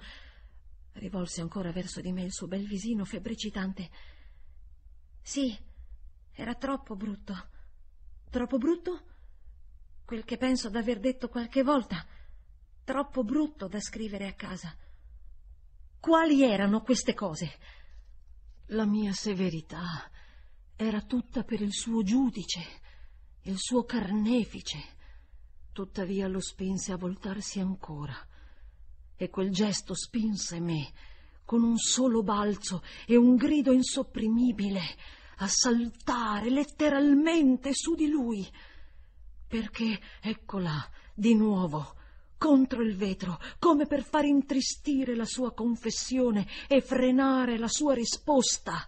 il ripugnante autore della nostra maledizione, il livido volto della dannazione. Fui colta da un improvviso stordimento al crollo della mia vittoria, al riaccendersi della battaglia, così che l'irruenza del mio vero e proprio balzo servì soltanto a tradirmi. A metà del mio atto vidi che Miles aveva capito come per divinazione e nell'avvertire che anche questa volta egli poteva soltanto indovinare e che la finestra era sempre vuota per i suoi occhi, lasciai divampare l'impulso di trasformare il culmine del suo sgomento nella prova stessa della sua liberazione. Mai più, mai più! gridai con voce stridula al mio visitatore, mentre cercavo di stringere il bambino al petto. Lei è qui? Domandò Miles con ansia, mentre seguiva con i suoi occhi sigillati la direzione delle mie parole. Poi, mentre quello strano lei mi sconvolgeva ed io lo ripetevo con un fil di voce come un eco. La signorina Jessel! La signorina Jessel! mi gridò con una furia improvvisa. Stupefatta, compresi ad un tratto la sua supposizione, come un seguito di quello che avevamo fatto con Flora ma ciò mi fece soltanto desiderare di mostrargli che si trattava di meglio. Non è la signorina Jessel, ma è alla finestra, dritto davanti a noi, è là, quel vile orrore, là per l'ultima volta. È lui! Ed ormai così decisa ad ottenere la prova voluta che per sfidarlo mi resi di ghiaccio. Che vuoi dire con quel lui? Peter Quint! Demonio maledetto! Il suo viso rivolgeva ancora a tutta la stanza la supplica convulsa. Dov'è? Ho ancora nelle orecchie la resa suprema del nome e il suo omaggio alla mia devozione. Che cosa ti importa di lui ormai, tesoro? Che importanza potrà più avere? Io ti ho gridai rivolta all'essere immondo, mentre lui ti ha perduto per sempre. Poi, per dimostrare che la mia opera era compiuta, là, là, dissi a Miles. Ma egli si era già girato di scatto, sbarrava gli occhi, guardava ancora, senza vedere altro che la luce quieta del giorno sotto l'impressione di quella perdita di cui io ero tanto fiera. Egli emise il grido di una creatura scagliata oltre un abisso e l'abbraccio in cui lo strinsi avrebbe potuto veramente arrestarlo nella sua caduta. Lo presi, sì, lo strinsi forte. Si può immaginare con quanta passione ma prima che fosse trascorso un minuto, cominciai a rendermi conto di ciò che realmente stringevo tra le braccia. Eravamo soli, nella placida luce del giorno, e il suo piccolo cuore, spezzato, aveva cessato di battere.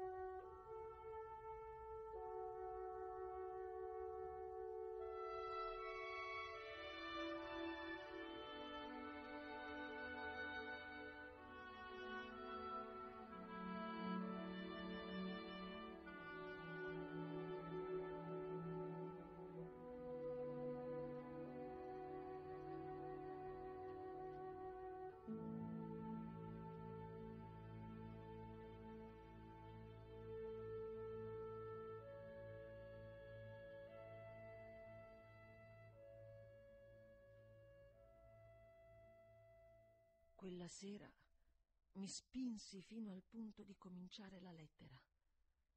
Il tempo era ancora cambiato. Soffiava un forte vento e sotto la lampada in camera mia, con Flora che riposava pacificamente accanto a me, rimasi a lungo seduta davanti ad un foglio bianco